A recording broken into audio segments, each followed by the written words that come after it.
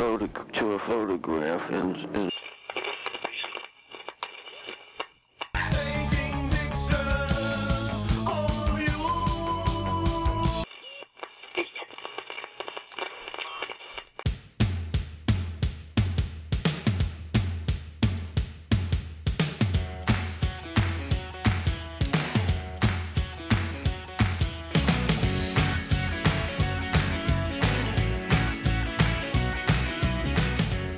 Hi Stefan.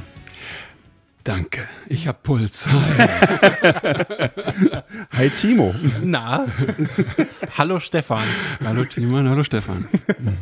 Ja, ähm, wie ihr ähm, unschwer bemerken könnt, ähm, wir haben einen Gast heute, beziehungsweise wir sind heute bei einem Gast zu Gast, so muss man sagen. Ähm, hi Stefan Beutler.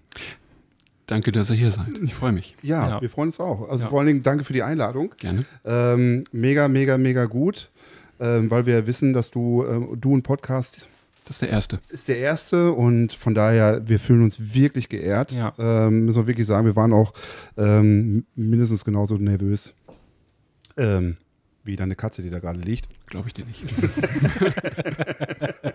Lass mich gerade gucken. Alles klar, sie schläft. Ja, sie, sie ist mega entspannt Gechillt. hier. Ja. Ja. Ähm, wir sind bei dir im, im Wohnzimmer. Mhm. Ähm, in Begleitung mit, ja, mit Katze und so weiter Mhm. und äh, eigentlich auch im Herzen deiner Fotografie, kann man Mhm. so sagen. Ne? Wenn er nach oben schaut. Ja, richtig, genau. Also hier hängen hier äh, diverse Hintergrundpapiere unter der Decke und also mega gut, dass wir hier sein dürfen. Wirklich toll. Ähm, erzähl doch mal so ein bisschen was so ähm, über dich, was du so machst, falls dich mal jemand nicht kennen sollte von unserem Publikum. Mhm. Glaube ich zwar nicht so richtig, aber ne, dass du einfach mal so ein bisschen was über dich erzählst und so. Ähm, dann kommen wir mal so zu den Hard Facts. Hm. Ähm, ja, Stefan Beutler macht ähm, seit über 20 Jahren Fotos, Porträtfotos in der Hauptsache. Ähm, versuche emotionale Sachen zu machen, Mhm. versuche so ein bisschen künstlerische Sachen zu machen, versuche das Ganze minimalistisch zu machen. Mhm. Ähm, ja, Das ist das, was du machst. Okay. Wie bist du da, da, da hingekommen? Weil im Vorgespräch hast du mir mal gesagt, dass du früher was ganz anderes fotografiert hast. Ja, also, okay, also zu Anfangszeiten, also ich habe, wie gesagt, richtig angefangen zu fotografieren ähm, vor 22 Jahren mit Einführung der Di Digitaltechnik. Ähm, habe da natürlich alles, alles fotografiert, was irgendwie vor die Kamera gekommen ist. Ja. Und ähm, habe mich für Menschen interessiert, bin aber dann durch Zufall durch die äh, zur Hundefotografie gekommen, also Hundesportfotografie, Aha.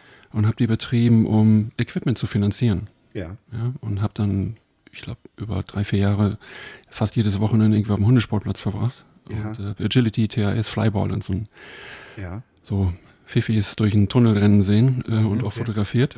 Ähm, habe dadurch tatsächlich mein, mein erstes Blitz-Equipment äh, finanziert, habe mir dadurch die Kameras finanziert, Objektive. Okay. Und 2010 habe ich dann damit aufgehört, Ja. weil es sich nicht mehr gelohnt hat. Ja. Und habe mich dann komplett auf Menschen fokussiert. Das heißt aber mit diesen, ich meine, letztendlich Hunde zu fotografieren ist ja im Prinzip wie Sportfotografie. Mhm. Das heißt, man muss auch fotografieren können, weil die sind ja nicht gerade langsam und so weiter. Ja, ja, Man ja. lernt es dabei, ne? Also Oder? du musst dich schon, du musst dich schon mit der Materie beschäftigen. Also du musst dich schon ein bisschen dafür interessieren, ähm, was auf dem Hundesportplatz passiert, also wie die, wie die Fifis da laufen.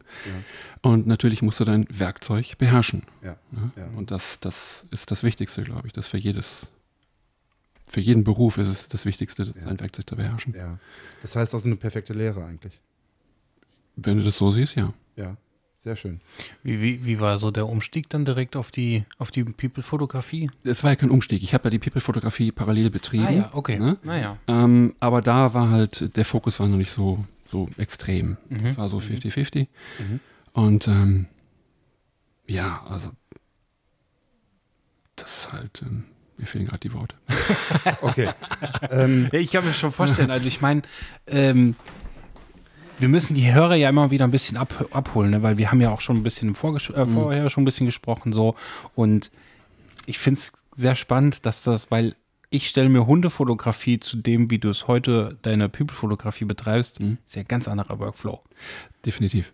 Ja, also ich meine, Hundebilder, da denke ich an Serienbildaufnahmen. Jein. Jein? Jein. Okay. Ah, ja. Das ist ein heikles Thema, weil ähm, du musst natürlich, du musst viele, du musst viele Hunde aufnehmen, ähm, du musst viele Situationen aufnehmen und wenn du dann noch Serien fotografierst und ich habe mir damals eine Einser gekauft, also das heißt, du hast da schon, ich weiß nicht, acht Bilder die Sekunde gemacht, Mhm. da habe ich keinen Bock drauf. Das heißt, ich habe mir angewöhnt, wirklich den Hund in der richtigen Situation aufzunehmen. Dann habe ich vielleicht zwei Bilder gemacht. Ah, ja. Ähm, das war wirklich, das ist Übungssache. Ja, Ne? Das heißt, da die Situation richtig zu erkennen. Okay. Naja, Okay. na, spannend. Cool. Das heißt aber, das hast du dann auch beibehalten. Das heißt, äh, jetzt heute, wenn du ähm, Porträts machst oder auch äh, andere Bilder, die jetzt man jetzt nicht unbedingt als Porträt bezeichnen würde, aber People-Fotografie machst, Mhm. du erarbeitest dir das Bild, hast du Mhm. mir mal gesagt, so, ne? Also du, du, du stellst die Leute ein Stück weit oder Mhm. ne? Ähm, und machst relativ wenig Bilder im, im Verhältnis gesehen. Ich versuche es, ich versuche es. Also es ist schon, also ein optimales Shooting ist tatsächlich, wenn du ein Gespräch mit dem, mit dem Menschen führst, der vor der Kamera ist Mhm. und äh, der sich sehr locker gibt, Ja. nicht posiert, das ist das Wichtigste.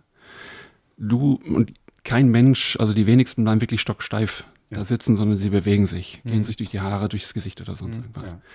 Und das sind Momente, die ich dann sehe und wo ich dann eskaliere, wo ich dann wirklich sage, Mhm. stopp, wirklich Ja. laut, das musst du natürlich vorher sagen, sonst erschrecken die sich.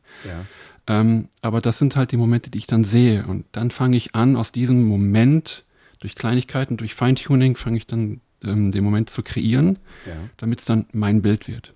Okay. Das heißt, du baust dir das Bild. Es ist nicht so, dass du sozusagen so reportagemäßig äh, jemanden begleitest, sondern du baust dir das Bild schon so zusammen, wie du es dann sehen möchtest. Ja. Mhm. Ah ja, okay. Wie, wie, wie- nur mal, um auch nochmal die Hörer so abzuholen. Mit wie vielen Bildern gehst du aus so einem Shooting raus? Im Schnitt. Ich habe euch ja gerade- Normalerweise. ich habe euch gerade gesagt, ich hatte da jetzt die letzten drei Shootings, waren so mm, Ausreißer. Ja, du kannst auch gerne beichten hier. Ja, ich beichte sehr gerne, ich stehe auch dazu. Also die letzten Fotos waren, die letzten Shootings, die letzten drei Shootings waren tatsächlich äh, sehr umfänglich. Das heißt, ähm, zweieinhalbtausend Bilder. Mhm. Und das letzte Shooting waren über 800 Bilder. Mhm. Ähm, weil ich, ich möchte mich auch so ein bisschen, ich will nicht sagen, mich neu erfinden, aber ich möchte einfach mich, mich weiterentwickeln. Und ich wollte einfach mal gucken, okay, was passiert wirklich, wenn du laufen lässt? Wenn du nicht so, wie du sonst bist, sehr, Ja. ein, sehr viel eingreifst, Ja. sondern wirklich das Model laufen lässt, Musik anmachst und sagst, okay, mach mal und ich nehme einfach nur auf. Mhm. Es war leider gut. Es war leider gut. es war leider, das sind, deswegen sind zweieinhalbtausend Bilder entstanden. Ähm, aber das Problem ist halt im Anschluss dann die Auswahl, Ja. ja.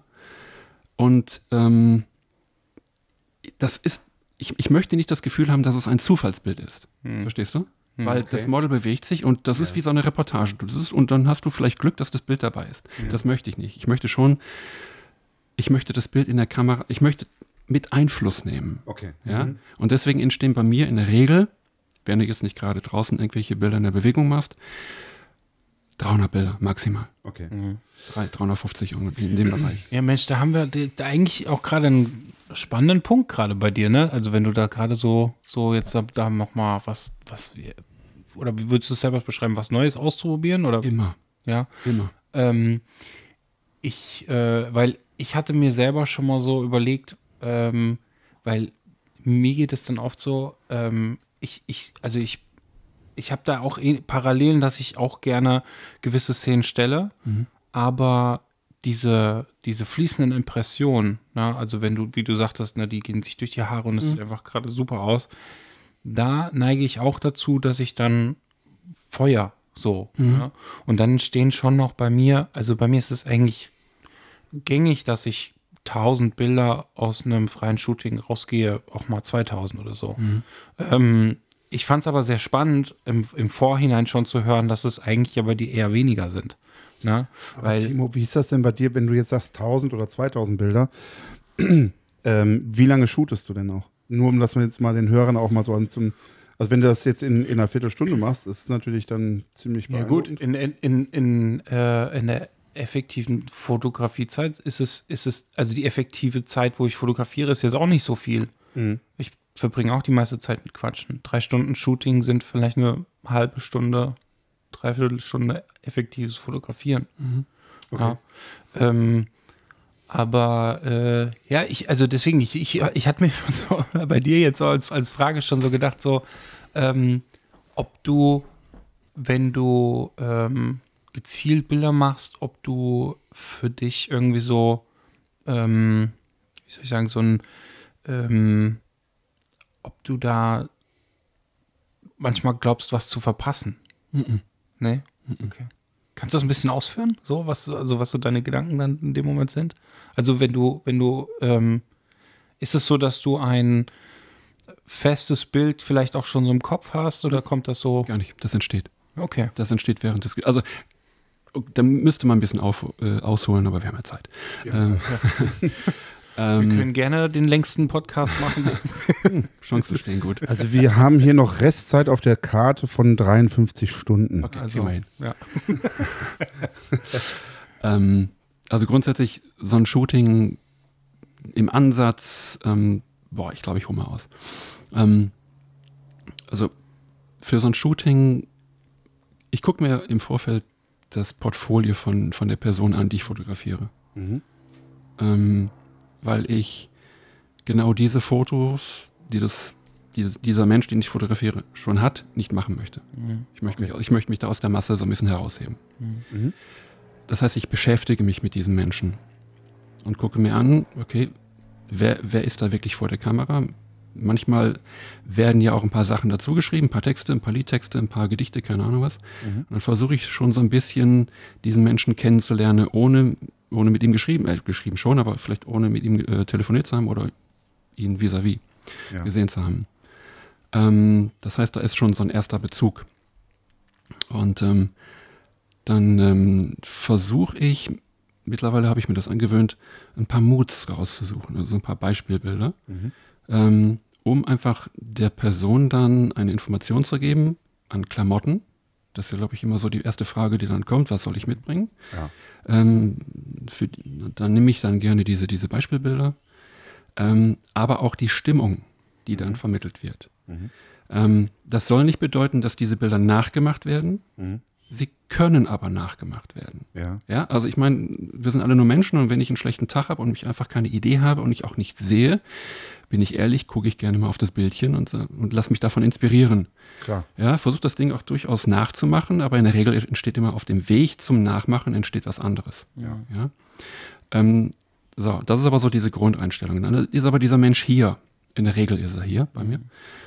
Und ähm, dann wird halt, ähm, wenn alles so läuft, wie ich mir das wünsche, wird lange geredet, lange gefrühstückt. Mhm. Und dann lerne ich den Menschen noch besser kennen. Und dann entscheide ich tatsächlich, wo die Reise hingeht, weil ich den Menschen wirklich kennenlerne und ich das fotografieren möchte, also diesen Menschen, den ich da kennengelernt habe, dann auch in Bildern bringen möchte. Mhm. Ähm, das kann komplett von dem abweichen, was ich als Mut habe. Das kann komplett abweichen von dem, was, das, was der Mensch bisher als, äh, als Fotos im Portfolio, äh, Portfolio hat. Das kann auch komplett abweichen von dem, was ich bisher gemacht habe. Aber in dem Moment sehe ich halt diese Bilder für diesen Menschen Okay. und versuche das dann umzusetzen. Okay. Ähm, ist das so, dass du das alleine entscheidest oder entscheidest du sozusagen mit dem. Immer. Immer mit dem Model, also immer mit der, mit, mit der Person zusammen. Mhm. Also es ist immer kein, ist nie eine Entscheidung von mir, sondern immer eine Gemeinschaftsentscheidung. Okay. Wie würdest du, wie würdest du dann in dem äh, Fall deine Arbeit gewichten? Würdest du sagen, es ist eher ein Porträt oder es ist eher eine Inszenierung deiner Arbeit? Ich versuche beides. Mhm. Tats Tatsächlich. Also ähm, ähm, da ist so ein bisschen Psychologie, Psychologie auch für mich. Nein, nur für mich. Ja. Ähm, ich, bin, ich bin ein sehr unsicherer Mensch, Mhm. auch was, Okay. auch was meine Arbeiten angeht. Okay.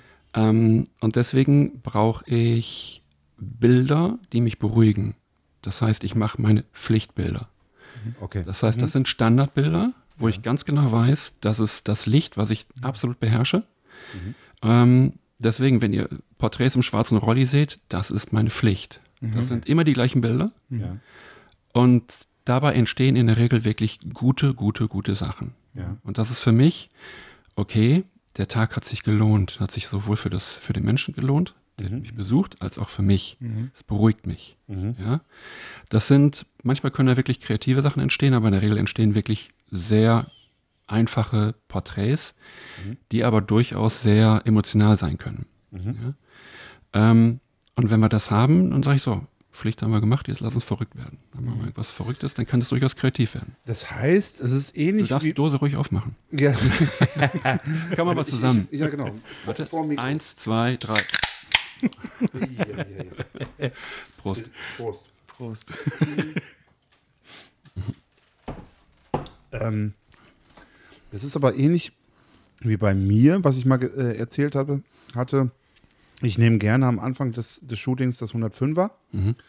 äh, weil ich weiß, der Look gefällt jedem. Mhm. Und das ist dann halt so ein, so ein, so ein Türöffner, Genau. sag ich jetzt mal. Ne? Du machst ein paar Bilder, zeigst das dem Model und dann ist die Stimmung schon um 50 Prozent gehoben. Genau. Ähm, die, die Nervosität geht auch weg Mhm. in dem Moment. Und ähm, ja, das ist dann ähnlich bei, bei dir halt mit deinen, ich sag jetzt mal, Standardbildern. Genau. Du, du schaffst halt Vertrauen. Du Genau. schaffst Vertrauen dem Menschen gegenüber, den du fotografierst, Ja, indem du, und das ist mein Anspruch, ja, indem du die Bilder in der Kamera schon richtig geil machst. ja. Ja. Und ähm, ist wieder ein Thema, was wir bestimmt noch besp äh, besprechen werden, aber Mhm. ähm, das sind halt keine Bilder für Social Media. Das ist halt wirklich für die, für die Person, die ich da fotografiere. Und mein Anspruch ist es halt, also ich eskaliere dann auch hinter der Kamera. Ja, Ja, also ich freue mich echt und äh, mache da mein Tänzchen und verdrück auch ein Tränchen. ja, Ja. Ähm, und dann versuche ich, dann, dann ist halt, dann drehst du das Ding halt um und hier zeigst du Model und guck mal, das bist du. ja, Ja, und dann so die Reaktion teilweise so, wow, ja, so einfach so überwältigend. Ja. Ja. Und dann kann ich sagen, okay, eigentlich können wir aufhören. Wir haben alles, was wir brauchen. ja, Ja. Scheiß auf Social Media, weil ich, also wir beide sind gerade die glücklichsten Menschen auf der Welt. ja, Ja. Ähm, aber das ist so für mich die Pflicht, die ich, die ich einfach brauche. okay. Gut, und von da aus, von da aus geht es dann einfach weiter. Von da aus geht es dann weiter, dann kann es kreativ werden. Okay. Weißt du dann schon, wo die Reise hingeht oder ist das dann auch so ein wirklich. Spontan in der Regel. Ist wirklich spontan. Mhm. Ähm, das ist abhängig vom Wetter, das ist abhängig, ähm, ja, auch von der Bereitschaft, ähm, auch von mir aus. Also habe ich, hab ich jetzt gerade Bock, wieder noch irgendwo eine Stunde irgendwo hinzufahren Mhm. ähm, oder bleibe ich hier in der Ecke? Das sind so viele Faktoren. Ich habe Mhm. zum Glück hier im Ruhrgebiet viele, viele Möglichkeiten, Mhm. ähm, mal eben kurz irgendwo in eine Location zu fahren, die cool ist. Mhm. Ja, aber ähm, in der Regel ist es spontan. Okay. Das kann auch, das können auch Kleinigkeiten sein. Also Mhm. wie gesagt, ähm, letztens, ähm, also mein, mein Enkel bringt ab und zu mal irgendwelche Sammelstücke mit. Letztens war es ein Enkel toter Ast. Ja, So, und dann habe ich hier Porträts gemacht. Ich sage, hier halt mal den Ast vors Gesicht. Ja, geil. Mhm. ja, Ja. Ist einfach so.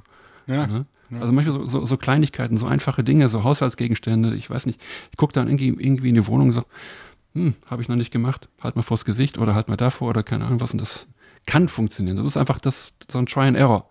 Ich Ja. versuche das dann. Ich versuche mir wirklich so ein Bild dann zu erarbeiten. Mhm.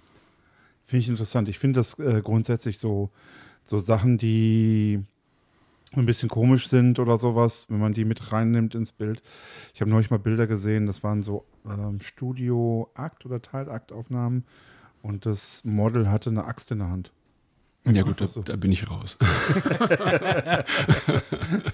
Ja, aber das ist, Also, Ey, nee, aber das ist etwas, was, was da eigentlich nicht hingehört. ja. Hm? Ne? So. Ne? Und ähm, ich, ich, ich mag ja, ich persönlich mag ja solche Brüche. Mhm. Ne? Ähm, mag jemand anders irgendwie anders sehen, aber, aber ich, ich, ich mag das ganz, ganz, ganz gerne. Ich, ne? Ähnlich wie die, die Bilder von Turina, die ich gemacht habe mit im Studio mit den Skiern. Ja. Ne? Sie stand auf Skiern im, im äh, Bikini, passt auch nicht zusammen und das dann noch im Studio ist total Banane. Ja. Ich finde es ja auch so spannend, ne? also ich meine auch jetzt mal gerade speziell diese Axt, äh, Mhm. du kannst sie ja auch als Störer oder als, Ja. wie, wie, als Reflexion irgendwie sowas im, im Bild auch irgendwie Mhm. nutzen. Also was jeder aus so einem Bild dann macht, ist ja wieder, Das stimmt. ja, Stimmt. Wenn sie poliert ist, natürlich, klar. Richtig. ja. Ja. Also ich wäre zum Beispiel auch, ich hätte glaube ich das Ding irgendwie als Störer, Reflektor, Mhm. irgendwie so, also irgendeine Reflexion oder so wahrscheinlich genommen am Ende. Dass die Axt gar nicht als Axt zu erkennen ist. Ja, wahrscheinlich. genau. Ja. Ich hätte sie ganz klar als Axt genommen. Bitte mit Blut. ja, kann man machen. kann, man, kann man machen.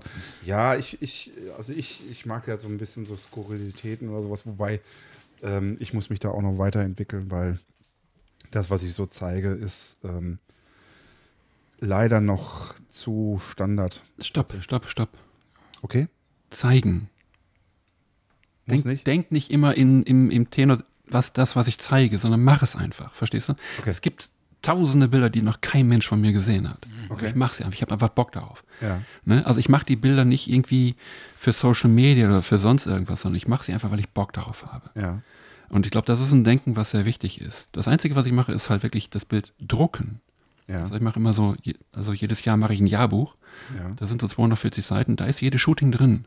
Da sind dann auch diese, diese sehr speziellen Bilder drin. Okay. Ja, aber nicht für Social Media, sondern und auch nicht für die Homepage oder sonst irgendwas, sondern wirklich, wenn du Bock hast, diese Bilder zu machen, dann mach sie einfach. Denk, Ja. denk nicht darüber nach. Also das finde ich, finde ich grundsätzlich sehr wichtig, weil viele sich auch da so ein bisschen einschränken. Ja, auf Instagram geht das Bild nicht und keine Ahnung was. Scheiß drauf. Ganz Nö, ehrlich. das, das, das meine ich, das meine ich damit auch gar nicht. Also was, was ich ähm, damit meine, ich möchte ja gerne auch äh, als Fotograf wahrgenommen werden, der äh, nicht dieses Standardzeug irgendwie äh, äh, ähm, macht und zeigt, Mhm. sondern ich möchte auch als jemand wahrgenommen werden, der auch mal ähm, was macht, was so ein bisschen schräg ist. Mhm. Also das Der ich schon- Anspruch, ja. das, ja, genau. Das ist, das ist schon so der, der, der Anspruch. Ähm, weil natürlich verstehe ich, habe ich hab auch jede Menge Bilder, die sozusagen bei mir ähm, noch lauern, ähm, irgendwann mal gedruckt zu werden und so weiter. Ich habe jetzt, jetzt erst gerade mal mir ein Portfolio gedruckt. Ja. Ich hätte es mal aus dem Auto mitnehmen sollen. Können wir später noch machen. Können wir später nochmal machen, ne? Genau. Ähm, und ich habe jetzt mal überhaupt mit dem Thema mal so richtig angefangen. Ich habe ich hab schon einige Bilder immer mal, immer mal wieder gedruckt. Mhm. Ähm, habe auch selber einen Drucker, Mhm. ähm, was ja auch nochmal so ein eigenes Thema ist. ne, du kennst es, du hast ja hast, jemand habe ich dich mal angerufen, hast mit deinem Drucker gekämpft. Genau, ich habe den, was ist das, 8550 von Epson, glaube ich, genau. Ja. Genau. Ähm, den habe ich mir bewusst geholt, um da mal auch so ein paar Drucke zu, äh, Ja. durchzujagen. Ähm, hat ein bisschen gehakt bei der Installation. Ich glaube, da hatten wir dann kommuniziert. ja, genau. Ähm, dann irgendwann war er, war er dann drin und dann ähm, habe ich ein paar Bilder von, von Hanemühle mal äh, bedruckt. Mhm. Das ist schon geil. Ja, schon, Das ist schon richtig geil. ja, das macht, Das schon macht echt was Spaß. her. Ja, also von daher, ich bin da noch viel zu wenig drin. Mhm. Ähm, kommt aber, ich meine, mein Gott, äh, kann ich alles auf einmal machen. Letztendlich, ne? Daher. Naja, aber ich finde es ja wie das, was du dir sagst, ähm, äh, Weiterentwicklung. Ja. Das ist ja, glaube ich, das, was du damit ausdrücken möchtest, ne? Voll. dass du dich weiterentwickeln möchtest. Ja. Und das finde ich das Wichtigste, dass man halt nicht stehen bleibt. Ja. Und das geht mir auch so. Also nach, nach, nach über 20 Jahren habe ich immer noch Bock, Mhm. irgendwelche verrückten Dinge zu machen. Und wenn ich das dann, mich dann ein, zwei Bilder gemacht, merke ich, nee, hat nichts mit mir zu tun, Okay. mache ich nicht mehr. Mhm. Ne? Aber ich möchte es zumindest probieren. Aber Ich glaube, Entschuldigung, Ja. ich glaube, diese Beharrlichkeit, ne, also da dran zu bleiben und auch mit diesem Gefühl äh, leben zu können, das macht auch oft dann die aus, die, die das länger betreiben. Mhm. Ja, ich habe, ähm, ich hatte mal mit äh, in meinem Freundeskreis mal jemand, der dann angefangen hat zu malen und äh, war dann auch sehr selbstkritisch und hat gesagt, ah, mir gefällt das immer alles nicht so. Und ich habe gesagt, ja, du wirst da auch nie ankommen, weil das ist so ein Gefühl, damit musst du lernen, umzugehen. Gerne. Ja, Aber es ist schwer. ja, auf jeden Fall. Es ist schwer. Es ist halt Fluch und Segen zugleich. Es Ja. ist zum einen ist es äh, der Fluch, weil du halt nie zufrieden bist. Mhm. Es ist aber auch der Segen, weil du stetig an dir arbeitest, weil du immer das Bedürfnis hast, dich weiterzuentwickeln. Immer, ne, immer nach vorne zu gehen. Mhm. ich weiß nicht, ob du die Folge mit Marvin gehört hast, mit Bob Sala, Mhm. Der ja auch dann von, von Selbstzweifeln gesprochen hat, Mhm. mehrmals. Und ich glaube, diese, diese Zweifel an sich, ähm, die sind bei vielen Künstlern scheinbar immens wichtig. Mhm. Ich weiß zum Beispiel Falco, Mhm. Säng österreichischer Sänger, der ein oder andere mag ihn noch vielleicht noch kennen, äh, war von Selbstzweifeln zerfressen Ja. praktisch, ja. Und ich meine, was für ein, was für cooles Zeug hat er gemacht, auch neu, neue Musik in der, in der deutschsprachigen äh, Szene gebracht. Ja. Äh, muss man ja wirklich so sagen. Und ja, Selbstzweifel bis, bis der Arzt kommt, so ungefähr. also ich im meine, ich wahrsten glaub, Sinne des Wortes. Die Kunstwelt ist voll von, von Menschen, die von Selbstzweifeln zerfressen werden. Ja. Ja, es ist aber auch eine Triebfeder, wie du das äh, Mhm, gesagt hast, genau. ne, letztendlich. Und ähm, ja, es ist, es ist auch dann auch so ein, so ein äh, Balanceakt und so. Und bei mir ist es auch, ne? Ich habe ich hab das Portfolio, ich habe mir das zusammengestellt ähm, bei einer großen Druckerei und so weiter, habe es abgeschickt. Es kommt an und ich denke so, hm, ah, das gefällt mir jetzt nicht und das ist dann doch nicht so gut geworden Mhm. und so. Und hättest du mal, hättest du mal. Mhm. Aber was sagte dann Timo? Dann ist better than perfect. Genau so ist es. Auch äh, den Also gemacht ist besser als perfekt. Ja. Ja, ja, es ist äh, erledigt, ist besser als perfekt. Ja. Ja. Ähm, ich, ich muss mir den Satz aber auch immer wieder sagen, damit ich es auch umsetze, weil ich sonst genauso da sitze und denke, ach, da könntest du noch und hier könntest du noch. Du wirst aber nie perfekt erreichen. Nee, nee. Weil wer definiert perfekt? Ja, nur du selbst. Eben. Ja. Ja, Nur du selbst, ja. Und wenn du selbstkritisch bist, ja. und wenn es von außen kommt, dann kommt das, zu, kommt das zu so Bildern, wo du sagst, ah, das Bild ist ja perfekt, wo du denkst so, hä, das? Warum nicht das andere? genau. Also, Ja, ich meine, das ist ja in vielen Lebensbereichen so mit, dieser, mit diesem Perfektionismus. Ich meine, hat hier schon mal jemand ein perfektes Fußballspiel von irgendeiner Mannschaft gesehen? Ich glaube nicht. Es, sind- es sind immer irgendwo Fehler drin und so weiter. Ja, ähm, ich habe neulich habe ich mal ein Video gesehen, da wurde ähm, Ayrton Senna gezeigt, wie er einmal in seinem Leben eine perfekte Runde gemacht hat mhm. in äh, Monaco, Mhm. wo er gesagt hat, das war jetzt mal perfekt. Eigentlich will ich dieses Gefühl nochmal haben, aber ich es wahrscheinlich nicht, mehr, nicht nochmal erreichen. Ja. ja, und man sagt ja, dass es der größte Rennfahrer aller Zeiten gewesen ist, so vom Talent her. definitiv. Und ähm, er hat ein, einmal in seinem Leben eine perfekte Runde hingelegt. Mhm. Das sagt ja sehr viel. Ja. Ne? Von daher, also man kann das, ähm, da viele Analogien sozusagen auch in, in, in anderen Bereichen irgendwie finden. Und von daher, ja. Aber ähm, das ist ja cool so. Wie würdest du, wenn du, ich meine, wir haben jetzt so über deine Bilder gesprochen, ein Stück weit und so weiter, dass du die dir arbeitest und so. Aber wie würdest du deinen Bildstil so be beschreiben? Weil mir geht es immer so, immer wenn ich ein Bild von dir sehe, ich erkenne es sofort. Das ist, das ist witzig. Egal was. Das ist, das musst du mir beschreiben. Ich, ich, ich kann es ich kann's nicht definieren. Ich kann es nicht definieren. Was macht meine, ich, ich, ich weiß es nicht. Was macht meine Bilder aus? Das Einzige, Also- was ich wirklich versuche, ist, dass ich Ja. irgendwo Emotionalität im Bild habe, Ja. In jeglichem, in je, jeglicher Art. Also ich, das, also mein, mein Anspruch ist halt, ich muss mich in den Bildern wiederfinden. Okay. So. Ich kann ein paar Sachen dazu sagen. Gerne. Ähm, ich glaube, dass du erstmal vordergründig einen sehr eigenen Schwarz-Weiß-Look hast, auch Farblook, Mhm. äh, den man sofort erkennt. Also starke Kontraste. Mhm. Ähm, der Farblook ist immer relativ reduziert von den Farben her. Er ist nicht super bunt. Äh, das würde ich erstmal sagen, das ist das Erste, was man sieht. Dann nutzt du ähm, ähm, Locations anders wie andere Leute. Mhm. Ähm, mir fällt da jetzt zum Beispiel ein Bild ein, wo, du hast mir das erzählt, das war in, kann man das sagen, in, in, in einem Waggon. Ja, Ähm, ne, darf man, darf man ja sagen. klar. Ne? Also war, war in, einem, in einem Zugwaggon, Mhm. irgendwie so für Schüttgut oder sowas, ne? Und ähm, jeder andere hätte das, das, das Modell da irgendwie hingestellt, irgendwie vor die Wand, weil die irgendwie so gew- gewisse Rauigkeit hat und Mhm. so weiter. Nee, sie kniet irgendwie davor in so einer Pose, die sehr mh, innig ist irgendwie und sehr äh, ein bisschen wie eine Statue oder sowas, würde ich Mhm. sagen. Also du nutzt scheinbar ähm, Locations anders wie andere und schaffst es, ähm, den Blick komplett auf die Person zu lenken. Egal, es ist eigentlich, ist die Location nicht ganz so wichtig, Mhm. aber dann doch wichtig. Ich Mhm. kann es nicht so, mh, sie rückt so ein bisschen in den Hintergrund, wird aber irgendwie auch genutzt. Das Bestandteil des Bildes, ja. Das Bestandteil des Bildes. Das auch sichtbar ist, ja. Ja, machst du aber anders. Anderes Beispiel, ähm, das Bild von Antonella, die Mhm. wir ja auch hier schon im Podcast hatten, Mhm. äh, im See, in diesem ganz sehr, sehr, sehr ruhigen Wasser auch, Mhm. was schon mal irgendwie krass ist, so ein ruhiges Wasser zu finden, ähm, die dann praktisch mit dem Kopf falsch rum sozusagen drin liegt und Mhm. ähm, ja, wird man bei dir auf dem P- Portfolio dann finden. Das ist praktisch nur der Kopf Mhm. und ich bild mir ein, jeder andere hätte da sozusagen versucht, irgendwie so einen netten Bikini-Shot zu machen oder sowas im Wasser. Haben wir auch gemacht, aber Habt ihr auch gemacht, ja, okay. Äh, aber äh, das ist dann halt dann noch sehr ungewöhnlich, weil es nur auf den Kopf, auf die Pose, auf die letztendlich Pose, die sie mit dem Kopf macht, mit dem, ja, äh, irgendwie reduziert ist. Also das ist, was, was mir immer auffällt in Bildern, dass du, dass du irgendwie Locations anders nutzt wie andere Leute. Ich finde äh, gerade bei dem Beispiel, das hat ja auch sowas, ähm, das finde ich, das, das merke ich auch, da du hast halt, du hast zum einen diese starken Porträts und dann hast du aber auch noch mal so surreale Teilaspekte. Ja, das ist, das, so, so würde ich auch dieses, dieses eine Bild einordnen. Ne? Also das ist in dem Shooting ein, ein Teil, ja, aber als Einzelwerk funktioniert es trotzdem sehr gut. Und ähm, das ist dann auch ähnlich, wenn ich jetzt zum Beispiel, ich, also ich meine, ich habe jetzt hier, wir haben jetzt hier keine Bilder liegen, das können wir jetzt den Leuten müssen, die müssen uns vertrauen, die uns Mhm. jetzt gerade zuhören.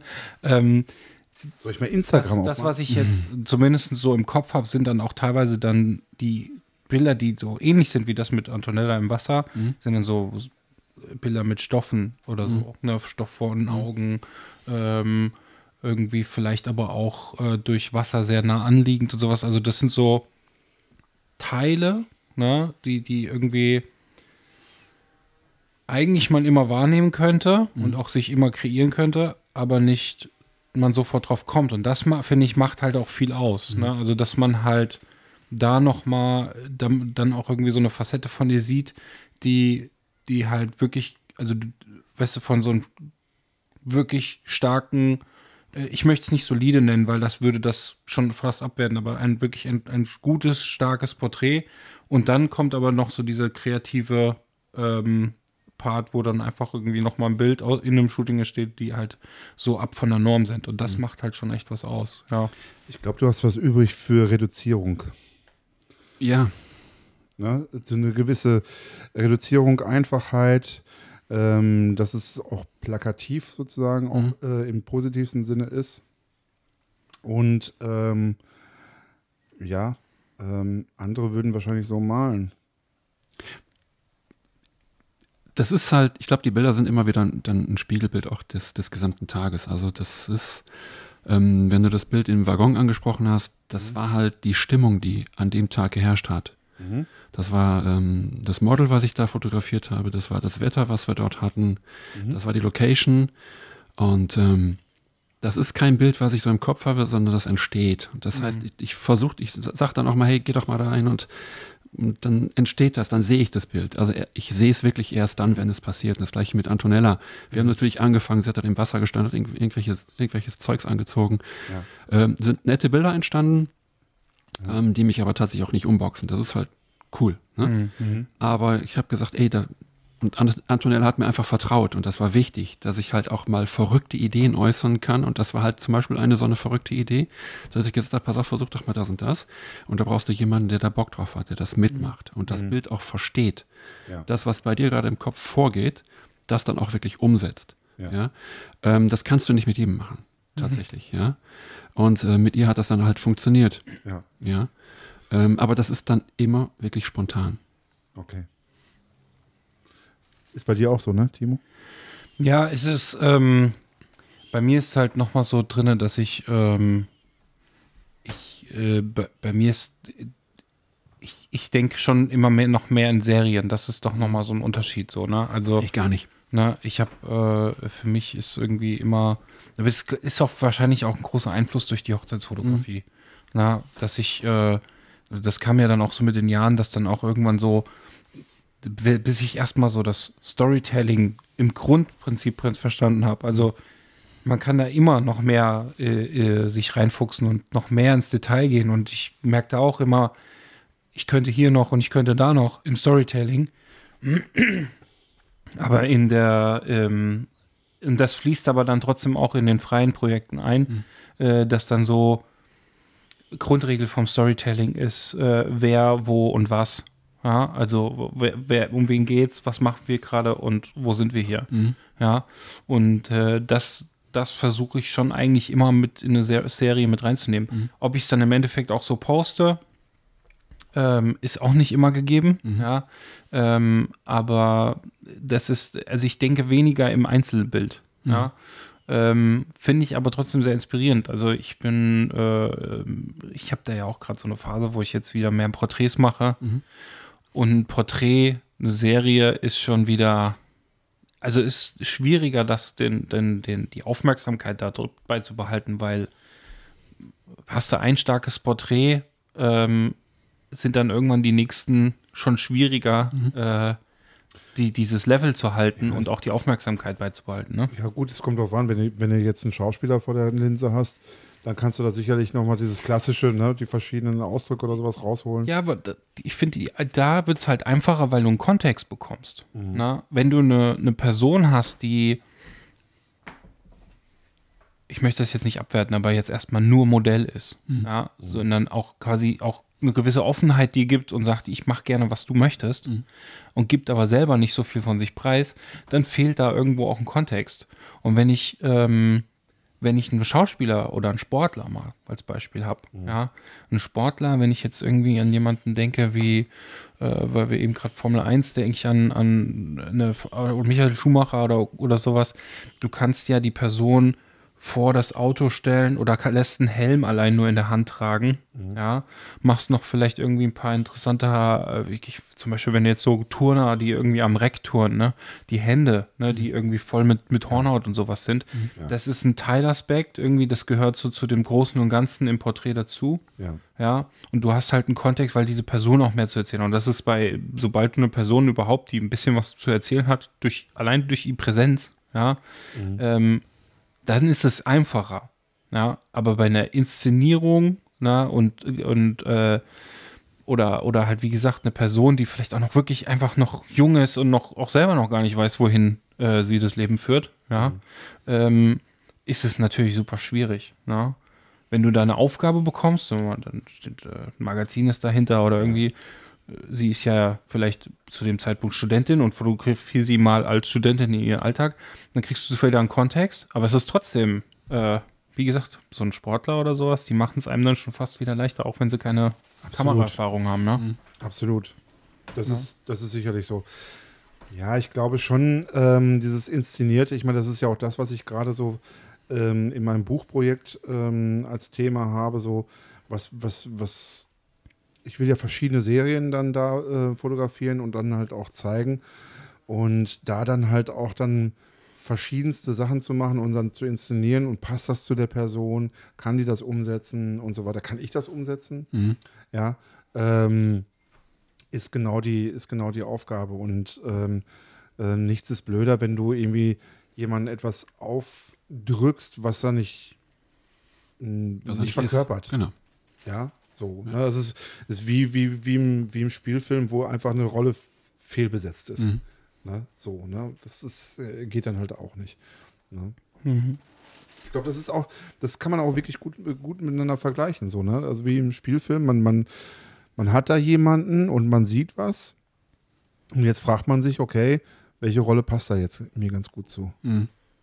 Kann man so sagen? Also man ist der Regisseur und man macht jetzt sozusagen, man unterhält sich mit, mit den Leuten und sagt, okay, das ist wie so ein Casting. Mhm.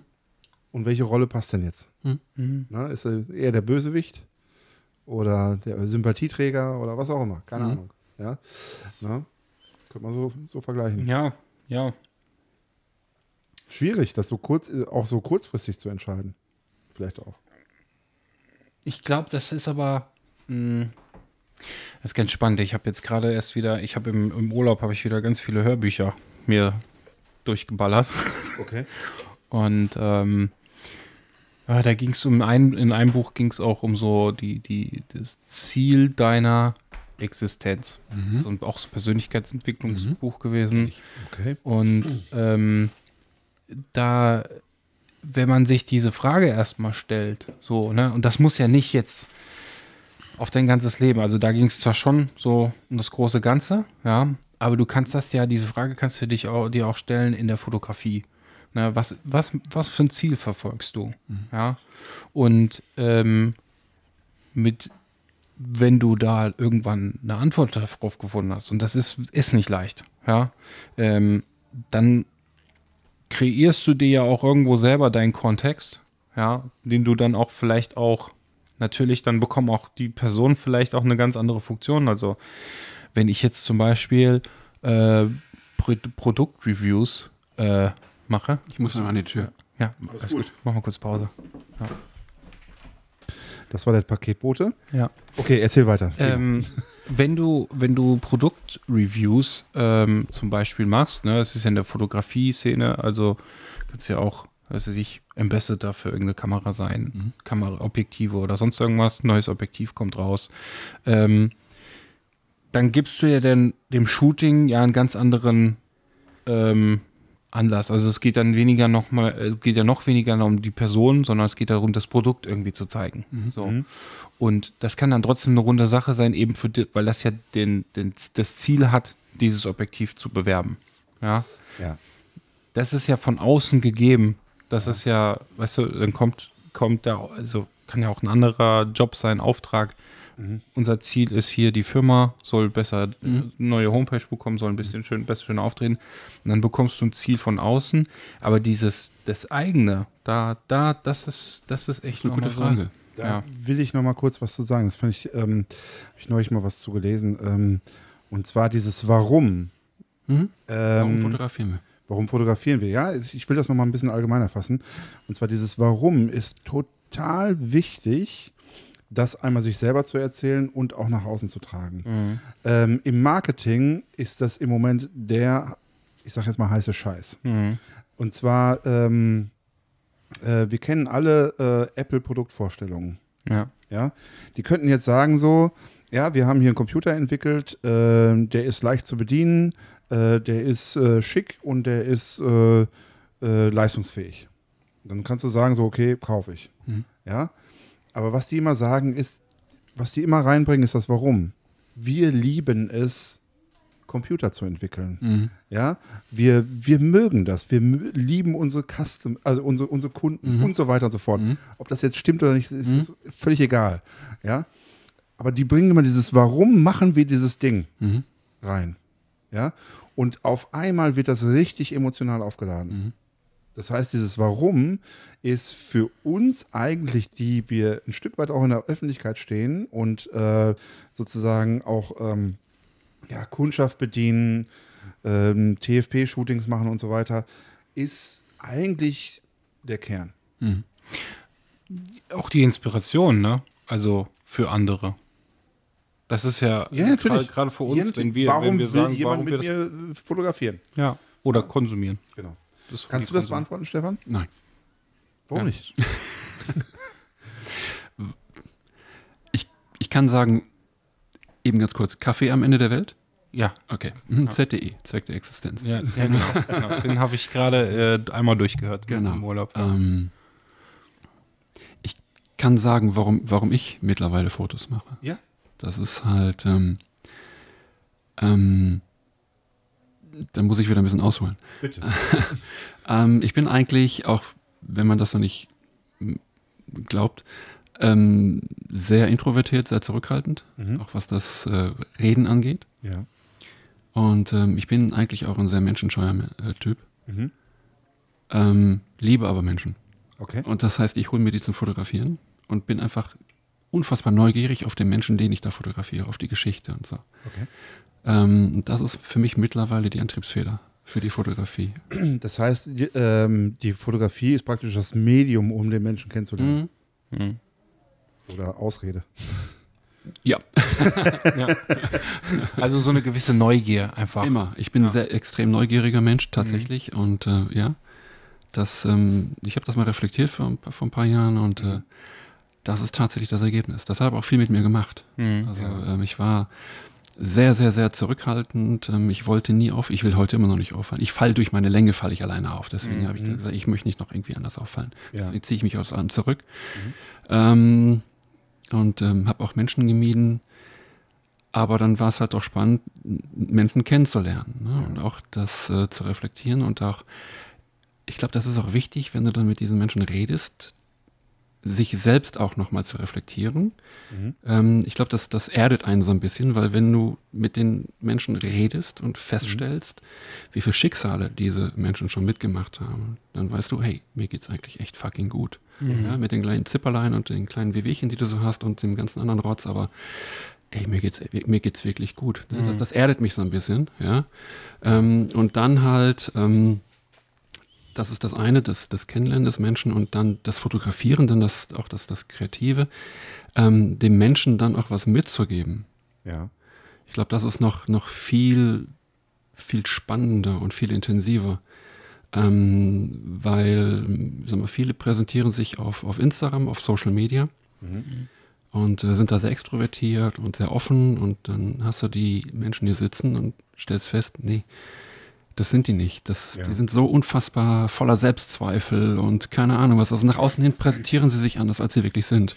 Das ist ja oft so. Das ist sehr oft so, genau. Und ähm, ich finde das dann extrem spannend ähm, und ich finde es auch tatsächlich ich will nicht sagen als meine Aufgabe, aber ich finde, da haben wir Fotografen einfach auch die Verantwortung, ähm, diesen Menschen einfach mitzugeben oder durch unsere Art der Fotografie die Möglichkeit zu geben, sich neu zu sehen. Und Mhm. eigentlich nicht neu, sondern sich so zu sehen, wie sie wirklich sind, indem du wirklich gute, natürliche Bilder machst. Mhm. Ja? Ist das, ist das so, dass du den Eindruck hast, dass du mit deiner Kamera sozusagen so ein bisschen hinter die Fassade gucken Ja. kannst? Okay. Mhm. Ja. Ja. Und es braucht die Kamera, um hinter die Fassade zu gucken? Oder ist das Gespräch eigentlich schon das? Es, ist das, es ist das Gespräch und ich glaube, die Kamera finalisiert das Ganze einfach nur. Mhm. Okay. Ja? Die, die drückt es dann in ein Bild aus. Aber ich glaube, das ist dann das Gespräch, ähm, was im Vorfeld stattfindet, Ja. ähm, wo sich der Mensch mir gegenüber öffnet, wo ich mich auch dem Menschen gegenüber öffne, weil Ja. ich das wichtig finde. Man muss sich immer auf Augenhöhe begegnen. Ja. Ähm, und das Ganze wird dann finalisiert in den Bildern. Ja. Und ähm, da kann es dann echt sein, dass da häufig auch Tränen fließen. Mhm. Auf beiden Seiten. Auf beiden Seiten. Auf beiden Seiten. Mhm. Also ich flenne hier auch ne, teilweise ein Ströfchen. Habe ich noch nicht gemacht. Doch ich schon. Tatsächlich, aber es ist so jetzt auch keine. Ne, ähm, was ich neulich mal gemerkt habe, ist, dass ich ähm, mich mit jemandem unwillkürlich, die, äh, die ich fotografiert habe, ähm, im Vorfeld vor einem Shooting ähm, irgendwie ein bisschen mehr beschäftigt habe. Ne? Irgendwie, ich habe gedacht, ach, ich, ich will einfach noch mal ein bisschen, äh, habe die dann gegoogelt und ich wusste, ähm, die Person, die spielt Geige und so weiter. Und dann habe ich mal geguckt, vielleicht gibt es ja irgendwelche Videos oder sowas Mhm. auf YouTube oder sowas, ne, wie, wie sie spielt. Und tatsächlich auch was gefunden und so weiter. Ne? Und Mensch, und ganz tolle Geigerin, also wie unglaublich. Mhm. Äh, und habe sie dann darauf angesprochen. Ich sag so, ey, das ist ja Wahnsinn. Mhm. Dann haben wir uns nur erstmal so über Geigen unterhalten, über das Musizieren, äh, weil ich ja früher auch Gitarre gespielt habe, sehr intensiv und so weiter, also Musik gemacht habe und äh, es war lange Zeit Lebensmittelpunkt bei mir. Mhm. Und wir hatten mal ein ganz anderes Thema auch Mhm. mal zusammen und habe dann die Person nochmal auf eine andere Art kennengelernt und auch nochmal ähm, ja, eine andere Seite nochmal sozusagen geöffnet.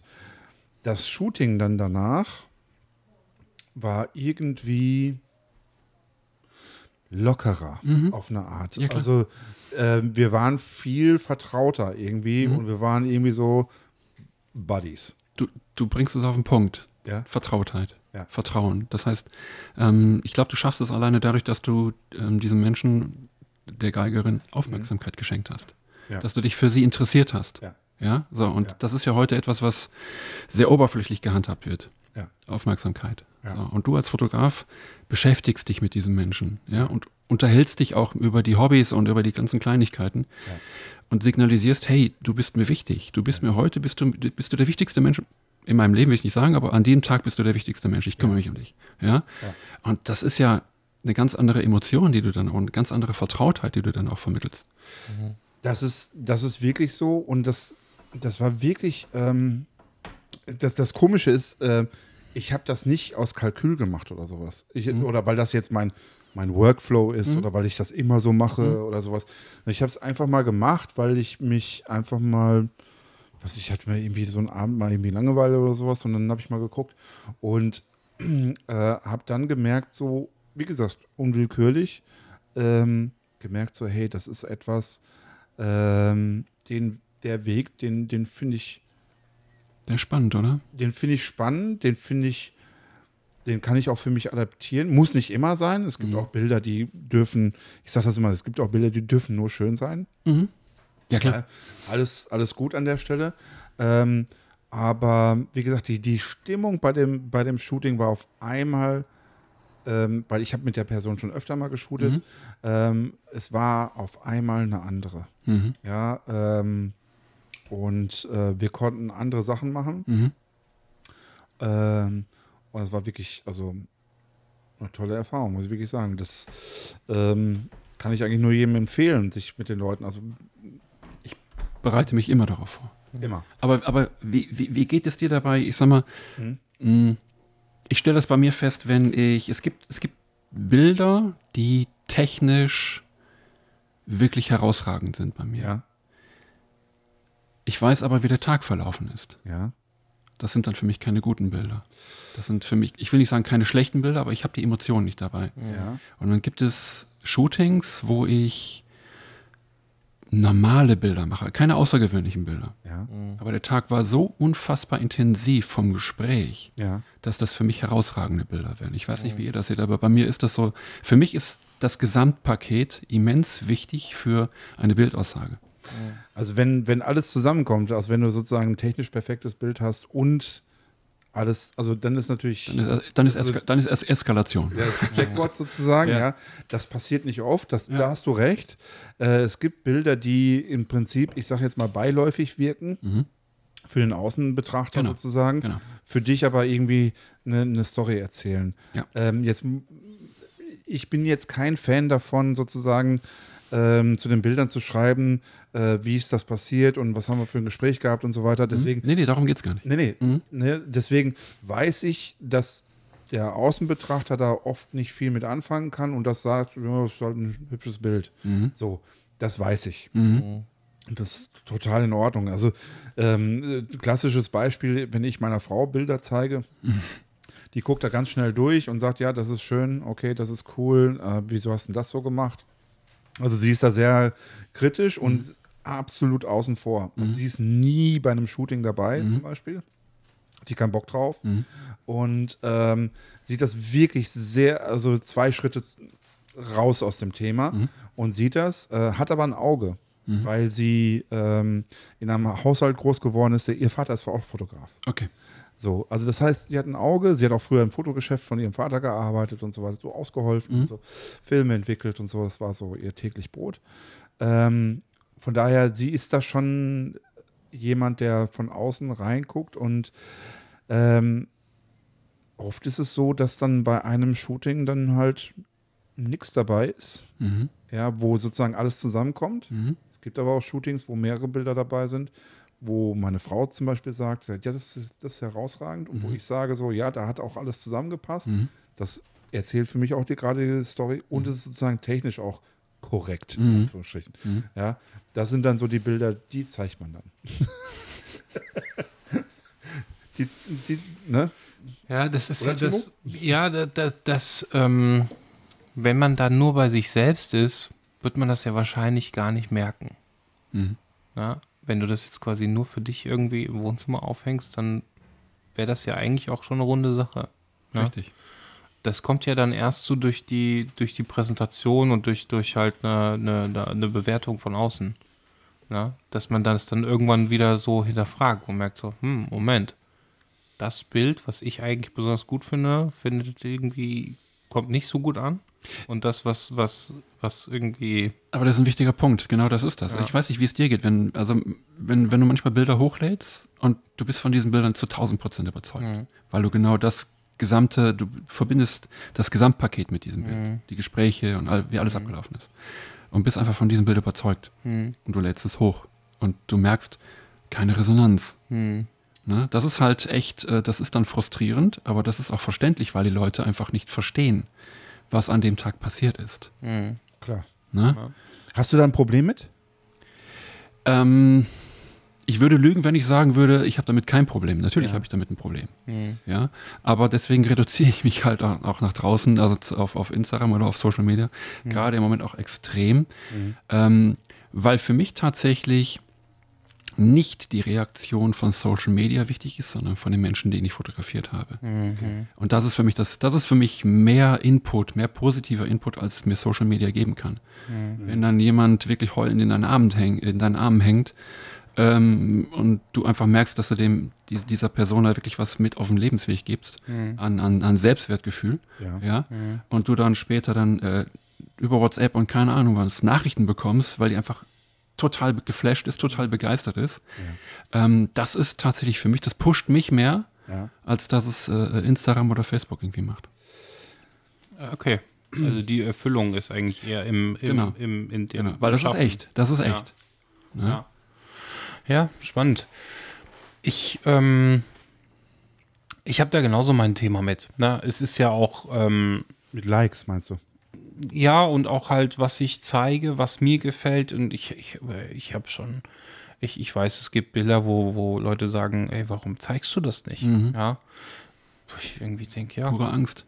Ja, oder, ja, oder auch eben auch dann mal, also ich, ich würde lügen, wenn man, wenn man das eine Weile macht, natürlich gab es auch mal irgendwie Shootings, wo man sich irgendwie nicht so ganz einig ist. Oder wo man dann irgendwie vielleicht auch durch, durch Veränderungen der Person äh, dann irgendwie sagt, so, nee, möchte ich mich nicht identi mit identifizieren. Mhm. Ne, weil die Person vielleicht heute was macht, was Mhm. man irgendwie nicht mehr, wo man nicht mit mitgeht, Mhm. obwohl das Bild vielleicht super ist. Mhm. Ja.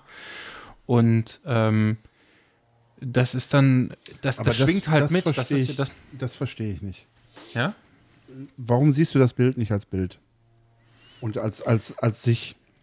Warum musst du das verknüpfen mit dem?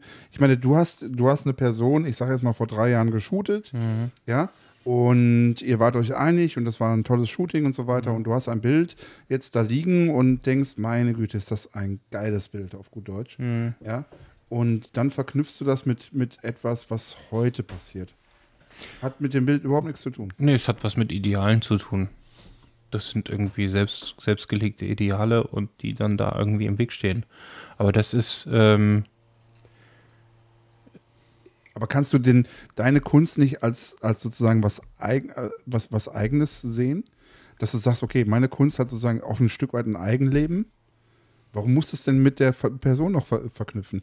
Ich meine, es, äh, irgendjemand Schlaues hat mal gesagt, wenn sobald Kunst ähm, an die Öffentlichkeit kommt, gehört sie dem Künstler nicht mehr. Ja? Sondern es ist sozusagen öffentliches Gut. mhm. Und man muss Kunst vom Künstler trennen. Mhm. Warum kann ich das nicht, warum kann ich die Bilder nicht vom Modell trennen? Mhm. Ich meine, ich habe, ich, wie gesagt, ich habe ich hab ja, ich habe mir mein, mein Portfolio gemacht. Mhm. So, und da sind Bilder drin, ähm, wo ich mir mit dem Modell mittlerweile nicht mehr einig bin. Mhm. So. Ähm, Def definiere nicht mehr einig sein. äh, sie hat einen Weg eingeschlagen, den ich ähm, nicht, also einen öffentlichen Weg eingeschlagen, Mhm. ähm, wo ich denke, so finde ich, finde ich irgendwie blöd. Okay. Also ist nicht so etwas, wo ich sage, so, ähm, das möchte ich unterstützen. Mhm. So. Aber trotzdem kann ich die Bilder sozusagen von der Person trennen. Mhm. Ja. Und als, als, als sich sehen. Ich meine, jetzt mal ganz blöd gesagt, wissen wir, wer Mona Lisa war? Nee. Ja, und was für einen Charakter die hatte. Mhm. Kann, kann ja sein, dass es echt, echt ein schräger Vogel gewesen ist. Ja, aber wenn du mal, wenn du dir mal so Beispiele anguckst wie Brigitte Bardot, ja, Ja. die, äh, die, ich, ich glaube immer noch lebt, oder? Lebt sie noch? Ich glaub, ja, sie lebt ich noch, glaub, ja. Ich glaube, sie lebt noch. Ähm, Mhm. Und mit der dann auf einmal in der Presse mit einer rechten Gesinnung aufgetreten ist, Ja. ja, oder beziehungsweise es öffentlich wurde, dass Ja. da eine rechte Gesinnung da- dahinter ist, wurden die, diese, die Kunst und diese, also sie als Kunstfigur, als Modell, ähm, hat es schon was mit ihr gemacht. Ja, Okay. so, so, und das ist, ich, ich, Mona lebt nicht mehr. Ja. Ja, sehr wahrscheinlich. Mag so sein. Äh, Nach 500 Jahren ja. sollte es so sein. Ja. Ähm, das heißt, es gibt nicht die, also man hat nicht mehr die Möglichkeit, sich mit dieser Person irgendwie zu ide- identifizieren. Ja. Das ist, das ist richtig. Ich meine, ich weiß, dass das schwierig ist. Hm. Ja. Ähm, weil, aber ich, ich glaube, dass oft ein Fehler, es gibt auch Grenzen da für mich, klar, aber es wird oft ein Fehler gemacht, dass wir glauben, dass jemand, der Kunst macht, auch gleichzeitig ein moralischer Mensch sein muss. Das ist nicht so. Nee, das nicht. Das, Das ist nicht. so. Äh, das ist aber, ähm, ich glaube, dass, ja, da, da, da gebe ich dir schon recht. Ich meine, wir hatten es ja in gerade einer der letzten Folgen, wo wir gesagt, also da hatte ich ja schon mal selber für mich so definiert, dass, äh, dass Kunst ein, ein, ähm, ein, dass mal, dass mal eine, eine Darstellung meiner Werte und, und ähm, Deine Kunst. meine Kunst. Ja. ähm, ist ein Auszug meiner, meiner Werte, Ja. Wertevorstellung und meiner Erfahrung. Ähm, ich, Ich, ähm, das hat dann was damit aber auch zu tun, was ich ja auch bereit bin, quasi von mir zu zeigen. Ja. Und wenn ich, ähm, mir fehlt, mal ganz blöd gesagt, mir fehlt diese Abgewichstheit, muss man zu sagen, sowas wie Terry Richardson nach außen zu, darzustellen. Ich bin nicht Terry Richardson. Ja? Und ich, äh, aus dem Grund, ähm, wer ist dann auch da der Punkt bei mir, nämlich, das ist nämlich tatsächlich eines der Themen, die ich dann habe, wenn ich, ähm, ich fotografiere jetzt seit über zehn Jahren und äh, bei mir ist es so, dass ich zwei Modelle, die, die ich fotografiert habe, äh, dann irgend, also mit der Zeit dann irgendwann in die Pornobranche abge ab, was heißt abgetriftet? Das ist, ist ihre Entscheidung gewesen, ja. Und ich kann mich damit aber nicht identifizieren. Ja. Ja. So dass ich dann da meine Schwierigkeit habe, diese Bilder irgendwie dann aufrecht im Portfolio zu halten. Und das, das, weil ich halt nicht Terry Richardson bin. Also, Aber was, aber was für Bilder sind das denn? Das sind ja keine pornografischen Bilder, die du von denen gemacht hast. Genau, nee, ich habe eigentlich äh, das gemacht, was ich sonst auch mache. Ja. Ähm, und das ist dann das, wo ich dann, ja, das sind dann diese Ideale, die bei mir natürlich mitschwingen, wo ich denke, ja, hm, machst das, also hm, ist das jetzt so gut, das da drin zu haben? Ähm, hat was vielleicht auch mit Angreiffläche zu tun, so, Ja. Angriffsfläche. Ähm, Ich meine, weißt du, das Ding ist, natürlich gibt es Grenzen.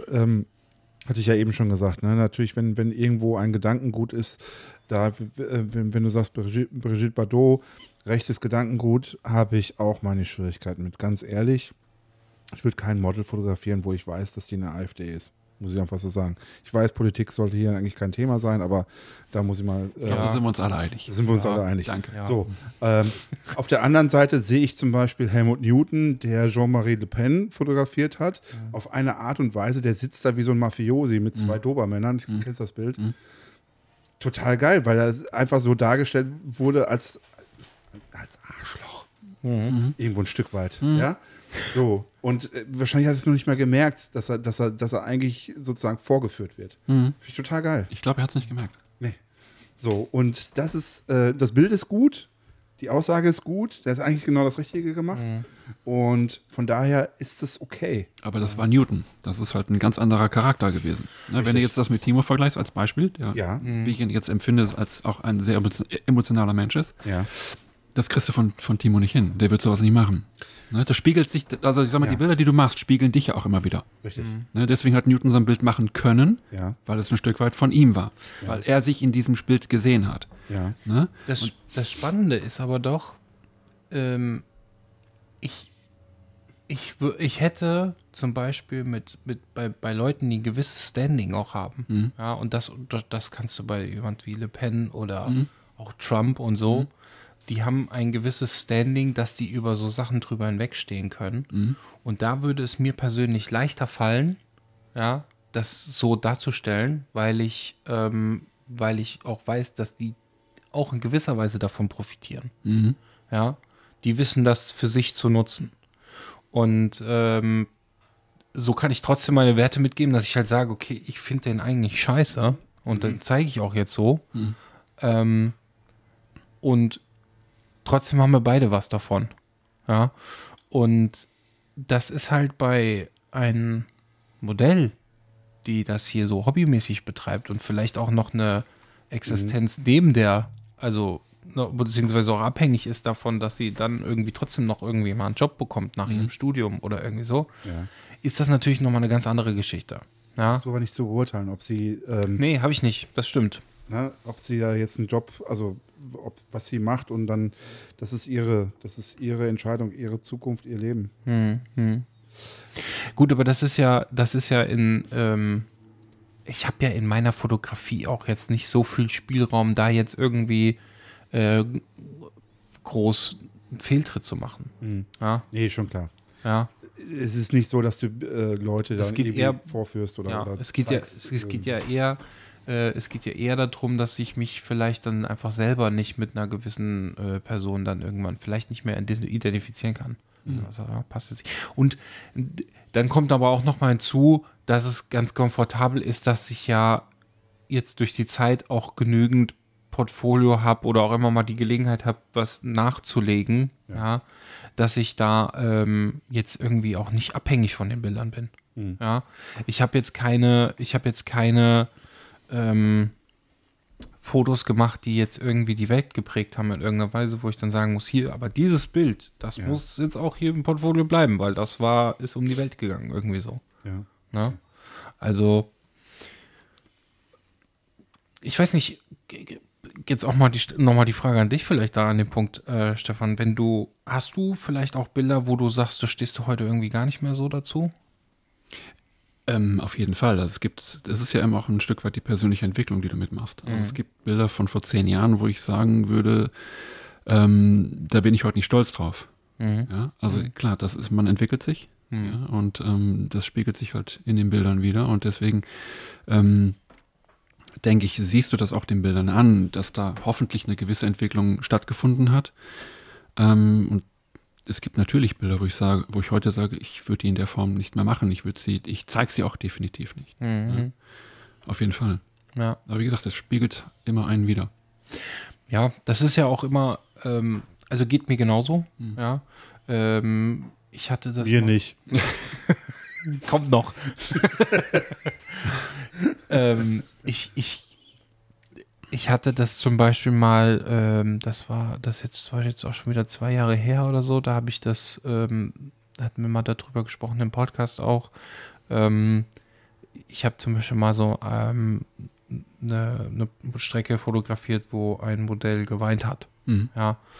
Und ähm, das war, das war nicht inszeniert, das war, das war schon so auch von ihr gewollt. Ja, also das, ähm, sie war auch der Initiator für dieses Shooting und ähm, ich habe dann einfach nach ein paar Jahren gemerkt, also das hat natürlich, das hat eine gewisse Aufmerksamkeit einfach bekommen. Die, die haben, ähm, Wir sind hier mitten im Leben. ähm, wir, äh, es ist wie so ein Hörspiel. Mhm. Ja. ähm, ich, ich war, diese, diese Serie hat zu dem Zeitpunkt auch eine hohe Auf- Auf- Aufmerksamkeit bekommen. Mhm. Ja, und ich ähm, wusste auch für mich war das einfach dann auch so, das war eine krasse Erfahrung Mhm. und ähm, sie war ja auch fein damit, Mhm. ja, und ist sie auch heute noch. Mhm. Trotzdem war dann irgend kam so nach ein paar Jahren dann ähm, so bei mir dann der Gedanke auf, ich weiß, in was für einer Phase ich sie in ihrem Leben fotografiert habe, Mhm. ja, und mit der Online-Präsenz dieser Bilder Mhm. wird sie ja auch im Endeffekt immer damit konfrontiert. Mhm. Entweder selbst oder auch vielleicht von außen. Mhm. Und das ist dann das, wo ich dann irgendwo auch mit der Verantwortung dann auch gesagt habe, okay, ähm, für mich ist dieses Thema irgendwie so abgehakt. Ich habe da, ich habe eine Erfahrung gemacht, die, die ich nicht missen, missen möcht, äh, Mhm. möchte. Mhm. So.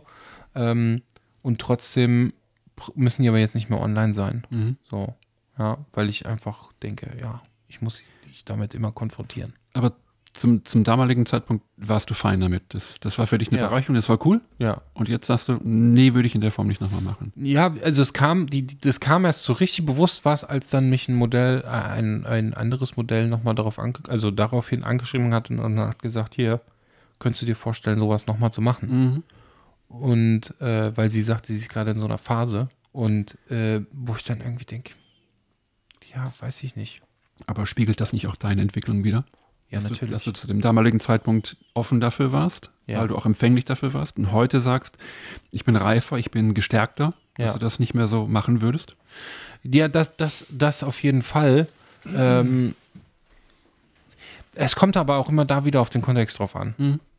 Also, was ich, was ich ja da gelernt habe, ist auch in einer un unangenehmen Situation Bilder zu machen. Mhm. Na? Und nicht eben das Taschentuch hinzuhalten. Mhm. So. Und ähm, das, äh, deswegen diese Erfahrung möchte ich nicht missen. Und ich würde wahrscheinlich auch in ähnlichen Situationen, wenn ich weiß, diese Bilder haben jetzt auch einen gewissen Moment, den man nicht mehr wiederbekommt, dann halte ich dann da auch drauf. Mhm. Ja. Ähm, das, also musste ich das schon irgendwo auch machen. Mhm. So. Ähm, es ist einfach, ja, es, ich glaube, es, ja, es hat schon was mit der, also einfach mit der, mit der, Das bist du. Ja, genau, das ist nicht, das ist nicht, bin nicht mehr ich. Richtig. Ja, Das ich bin nicht Punkt. mehr der, der, der quasi diese Art von Bilder zeigen möchte. Genau. Ja, ich ist möchte nicht damit identifiziert werden, so als, als äh, mein Steckenpferd oder Das- irgendwie sowas. Ja, das ist, ein, das ist ein ganz wichtiger Punkt, weil ich habe das früher auch, ich will nicht sagen herausgefordert, aber es war für mich, ich, ich fand das schon, also wenn du diese Vertrautheit hast, dass sich der, der Mensch so öffnet, ähm, finde ich das toll, aber ähm, ich war dann irgendwann, war ich übersättigt mit diesen Bildern. Auch jetzt nicht nur von mir, sondern auch was auf Social Media stattgefunden hat. Ähm, dass du halt wirklich nur dieses, diese negativen Bilder gesehen hast. Ich meine, Wein ist ja immer irgendwo ein Stück weit was Negatives. Ähm, ich war einfach übersättigt und habe gesagt, ich möchte es nicht mehr. Ja, ich habe da keinen Bock mehr drauf. Aber ist das etwas, wo du dann sagst, okay, nehme ich raus aus, von meiner Website, von meinen Social Media oder sagst du, nö, gehört dazu? Nein, das gehört dazu. Das ist, das ist, das ist ein, äh, das ist ein Lebensabschnitt von mir Ja. und da stehe ich zu. Auf jeden Fall. Du hast, ähm, ich habe ich hab mich ja auch so ein bisschen vorbereitet auf den Podcast hier und so. Ja, so ein bisschen habe ich ja mal geguckt. Und äh, du hast deine Webseite vor einiger Zeit, glaube ich, neu gestaltet. Oh, Webseite. Ich, die war heute on, äh, offline. Ich hatte da ein kleines Problem. Okay. Äh, deswegen, ich hatte dann. Also während der Fahrt hat sie sogar funktioniert noch. Echt? Ja. ja, heute Morgen ging sie wieder. Also ich habe da einen lieben Menschen in Hamburg, der mir da immer wieder hilft. Liebe Grüße an Günther Hagedorn, ähm, den ich immer anschreiben kann, der mir da echt immer sehr kurzfristig hilft und äh, sagte, ich mache das schon. Cool. Ich hatte kurzfristig Panik. Ähm, Du hast sie, du hast sie neu gestaltet, das heißt, ähm, ich habe New Stuff rausgenommen. richtig, Mhm. genau. Warum? Fand ich immer sehr interessant. Ja, das dachte ich mir. Ähm, ja, das jetzt als ist, ähm, das ist vielleicht der, der Tatsache geschuldet, dass ich, ähm, ich sag mal, mein Ziel ist es immer gewesen, irgendwann mal ein Bildband zu machen. ja. Und ähm, ich glaube, das ist so die Vorbereitung, dass ich halt nicht die ganzen Shootings, die ich jetzt mache, weil New Stuff war bei mir immer, jedes Shooting wurde dort gezeigt, ja. Ähm, dass ich das einfach jetzt zurückgenommen habe und sage, okay, ihr kriegt jetzt nicht alle Bilder zu sehen, wenn überhaupt, sondern dass ich die Bilder potenziell für ein Bildband nutzen werde. Ah, Okay, verstanden. Genau. Ähm, das ist ganz, ganz, ganz, ganz grobes Konzept. Ähm, Also eine Verknappung. ja, genau. Okay. Es ist eine Verknappung und ähm, es, es ist noch nichts konkret. Es ist einfach nur die erste Vorbereitung. Ähm, aber ich merke einfach, wie, wie schwer ich mich damit tue, ähm, ein Bildband zu. Ich meine, das ist Quatsch. Ich mache jedes Jahr mache ich ein, ein Bildband Ja. für mich. Ja, das, das funktioniert wunderbar. Da weißt du ganz genau, du gehst chronologisch jedes Shooting durch. Da suchst du dir die besten Bilder aus. Das ist einfach.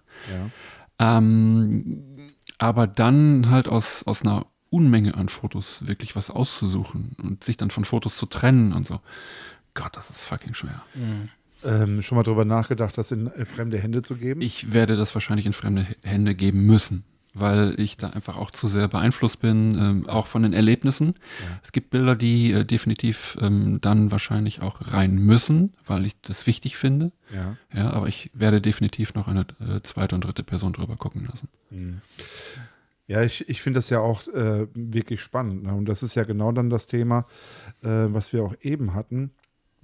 Letztendlich also die Außenbetrachtung, ne? Auf die Bilder und die, die sozusagen von, von innen, also die Leute, die beteiligt waren an, äh, bei dem Shooting und äh, scheinbar dann für so ein Bildband braucht man dann doch die Außenbetrachtung. Auf jeden Fall. Zu einem großen Teil. Ja. Wahrscheinlich wird es so sein, dass du sagst, pass auf, diese 20 Bilder, die sind gesetzt, da Mhm. gibt es keinen Ja, äh, kein rechts und kein links, Ja. die müssen drin sein und alles andere, guck du bitte mal. Ja, ja wenn es nach mir ging, müsste so ein Bildband 1000 Seiten haben. Und dann selbst dann bin ich, glaube ich, noch irgendwie zu wenig. Also das geht ja nicht. Aber guck dir mal die Bildbände von Ellen von Unwelt an. Die hat zwei Stück und die haben jeweils 500 Seiten. Ja. Aber, so aber will ich das? Will ich so, ein- will ich so ein dickes Ding? Nein, das ist, also Ja. ich möchte schon, dass es ein übersichtliches Ding wird. Also so 240, in dem Rahmen 240 Seiten, weil ich das halt auch, weil ich da auch die gewisse Erfahrung habe. Ja, Das finde ich sehr handhabbar. Das ist halt, das kannst du gut, das kannst du gut handeln. ja, Ne? Äh, 500 aber- Seiten ist für mich zu viel. ja. 240 ist schon sehr viel auch. Das, das geht doch. Das geht doch. Sind das Da gucken wir gleich mal rein. Ja, müssen wir, äh, müssen wir, müssen wir. Müssen wir reingucken. Äh, sind das, sind das äh, immer so 240 Seiten jetzt äh, pro, also was wir jetzt hier Das sind, das sind 240 Seiten, weil Blurb ist der einzige Anbieter, der mir, der mir 240 Seiten anbietet, die ich bezahlen Mhm. kann. Mhm. Und da baller ich dann halt die Bilder aus einem Jahr rein. Das Ah, ja. muss ich mir nachher mal angucken, weil ich habe jetzt mir mein Portfolio bei jemand anders gemacht. Mhm. Äh, das war auch okay, Mhm. äh, aber mir sind die Seiten zu dick. Ähm, das ist irgendwie so, pf, weiß ich nicht, das sieht irgendwie nicht nach Fotobuch aus. Mhm. Gibt ich, also, wir können ja, wir können ja, um noch mal ein paar mehr Namen zu nennen, weil wir ne, kriegen ja jetzt hier von keinem hier irgendwie Geld oder so. Ähm, wir- du hast ja bei Saal, hast du ja gedruckt. Ich habe das Basal gemacht. Und Ja, ist, aber die haben äh, ja auch noch andere Formate. Das ist ja nicht nur das, Ja, was aber das, das war so das Format, was mir am meisten geschmeckt hat, weil es kein Hardcover ist. Ich mag Mhm. kein Hardcover. Mhm.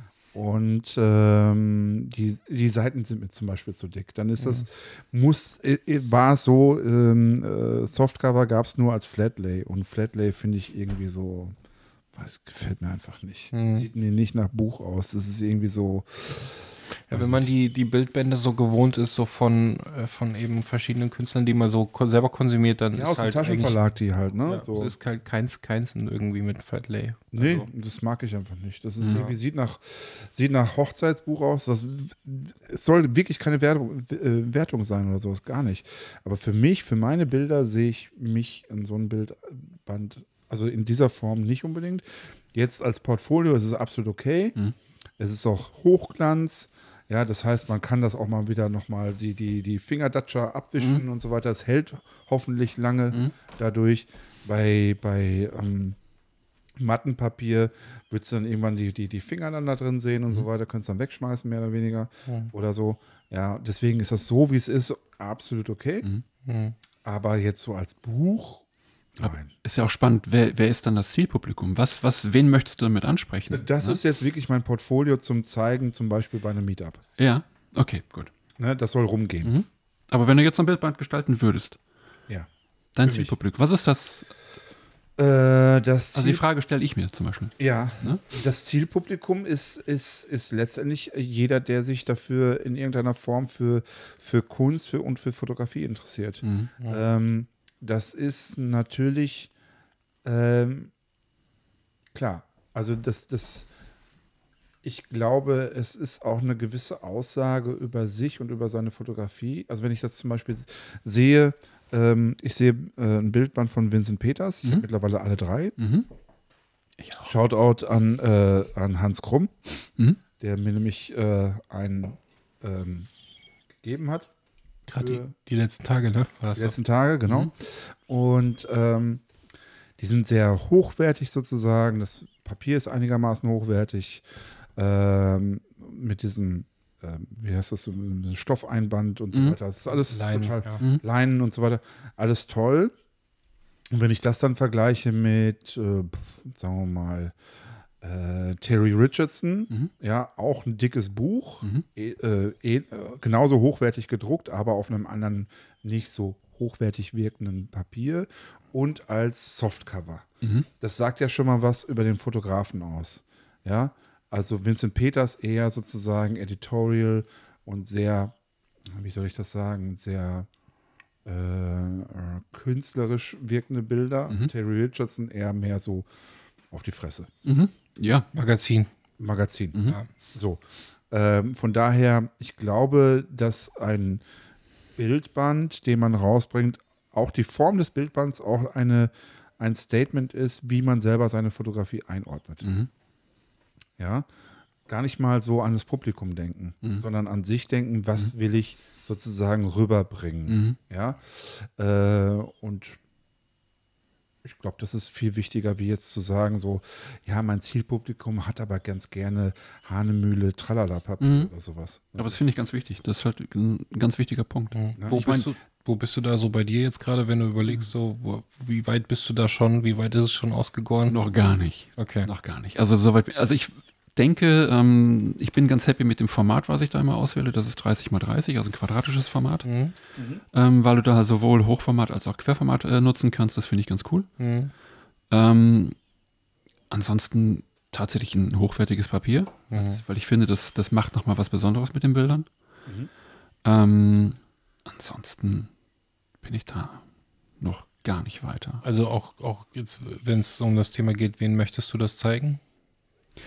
Ich, ich, ich überlege mir, warum, warum kaufe ich mir Bildbände? Was ist meine Intention, ein Mhm. Bildband zu kaufen? Ich möchte inspiriert werden. Mhm. Ja. Ich möchte inspiriert werden. Ich möchte in dem, ich, also ich weiß nicht, wie ihr das macht. Ich, ich wenn ich so ein Bildband kaufe, ähm, das erste, was ich mache, ich blätter einmal kurz durch Mhm.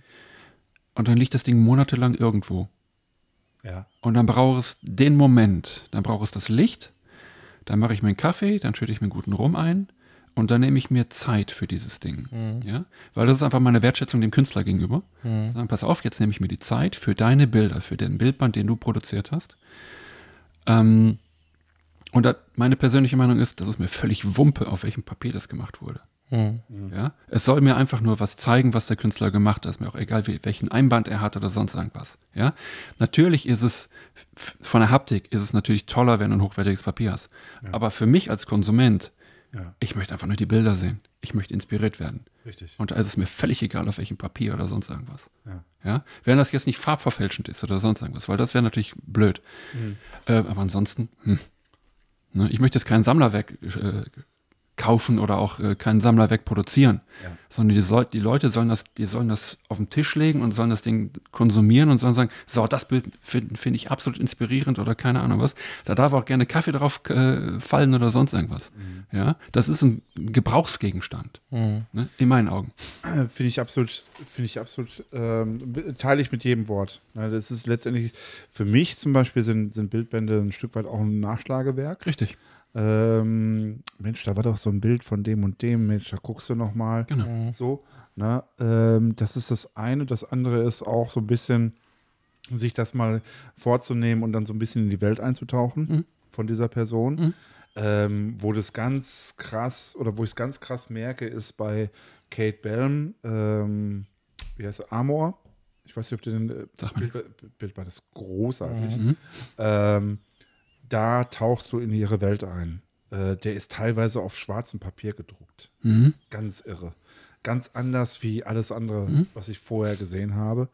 Und das ist wirklich so, okay, das ist ein Statement. Mhm. Ja, ähm, vom Papier her, vom, vom, vom allen sozusagen, von der ganzen Gestaltung. Und Mhm. du guckst da rein und du weißt, okay, jetzt bin ich sozusagen in ihrer Welt. Mhm. Total ähm, cool. Und das ist so etwas, das, das, das zieht mich da so rein. Mhm. Es gibt einen anderen Bildband, äh, da sind mehrere verschiedene Fotografen drin. Äh, der heißt Send Nudes. Mhm. Äh, den habe ich tatsächlich mal in einem, in einem Leica-Store gefunden. Äh, Da war hab- das böse Wort wieder. ja, das war das, genau. Das, das ähm, Leica-Bashing müssen wir gleich auch noch abhaken, aber okay. ähm, wie auch immer, auf jeden Fall äh, habe ich. Ich dachte Nudes. Ach so. Nee, Leica war das böse Wort, oder? ähm, wie auch immer, auf jeden Fall, ähm, da, da, das ist auch so etwas, da, da, da, das zieht mich so richtig rein. In Mhm. das ist aber, das, das Coole ist, es gibt so Bildbände, wo nicht das einzelne Bild zählt, Mhm. sondern die Stimmung, die auf einmal äh, vermittelt wird. Mhm. Ja. Ähm, und dazu gehört natürlich auch die, die Gestaltung des, äh, des Buches. Ja, natürlich. Ne? So, und das ist so etwas, ähm, da bin ich ja jetzt auch gerade dran, das, äh, das so zum, vielleicht so mal hinzukriegen, dass ich den, den Betrachter da reinziehen kann. Nicht jeder lässt sich da reinziehen, nicht jeder hat da vielleicht auch Kannst du Sinn nicht. für. Ne? Kannst du nicht. Du kannst es nicht jedem recht machen. Nee. Der, der erste Mensch, dem du es recht machen musst, bist du selbst. Punkt. Kann ich. Ja. Ja. Ist so. Ja. Ne? Du musst das Ding in die Hand nehmen, musst Tränen in den Augen haben und sagen, jo, das ist es. Wie ist es eigentlich bei dir? Jetzt mal was, nochmal, wo wir jetzt gerade so bei Bildern sind und so. Ähm, äh, Schwarz-Weiß und äh, Farbe. Mhm. Also, ich habe dich ja gerade gelobt für deinen Schwarz-Weiß-Look und für deinen äh, Farblook und so weiter. Wie entscheidest du, ob es jetzt Schwarz-Weiß oder Farbe sein soll? Ich mache tatsächlich immer beides. Was? Ja. Ich zeige nur nicht beides. Ah, okay. Äh, Das ist bei mir ein Automatismus. Also ich, ähm, also das, das Basisbild bei mir ist natürlich ein Farbbild. Mhm. Das entwickle ich. Da habe ich ein paar, da habe ich ein Preset, was ich mal irgendwann erstellt habe. Mhm.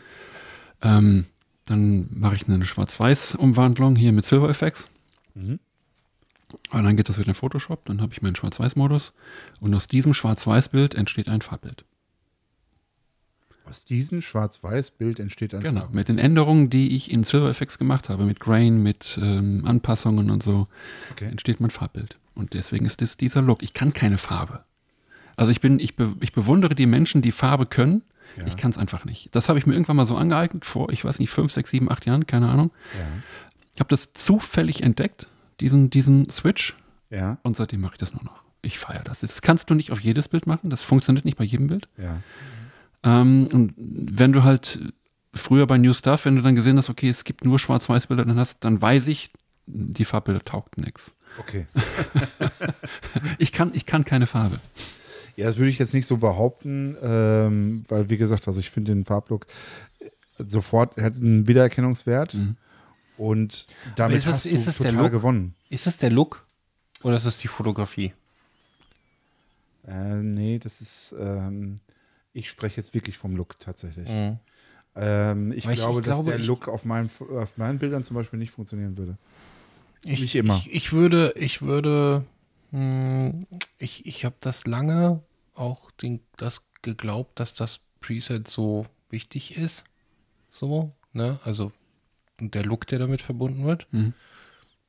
Ich glaube aber, dass man von euch beiden auch die Bilder wiedererkennen würde, wenn man mal ein anderes Preset nimmt.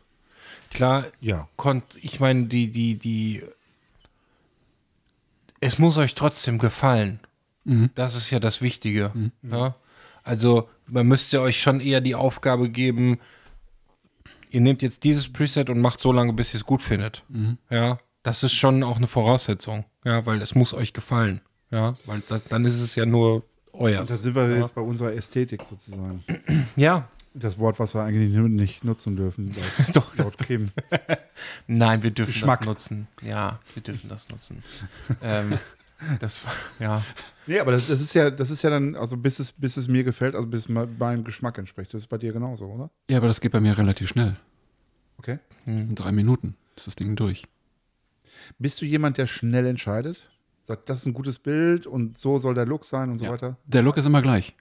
Der Look ist immer gleich. Das sind, das sind wirklich nur, das sind Feinheiten, die Mhm. ich mit Silver Effects, du hast ja die Kontrollpunkte, die du dann ansetzen kannst, wo du gewisse Bereiche äh, korrigieren kannst. Das mache ich dann.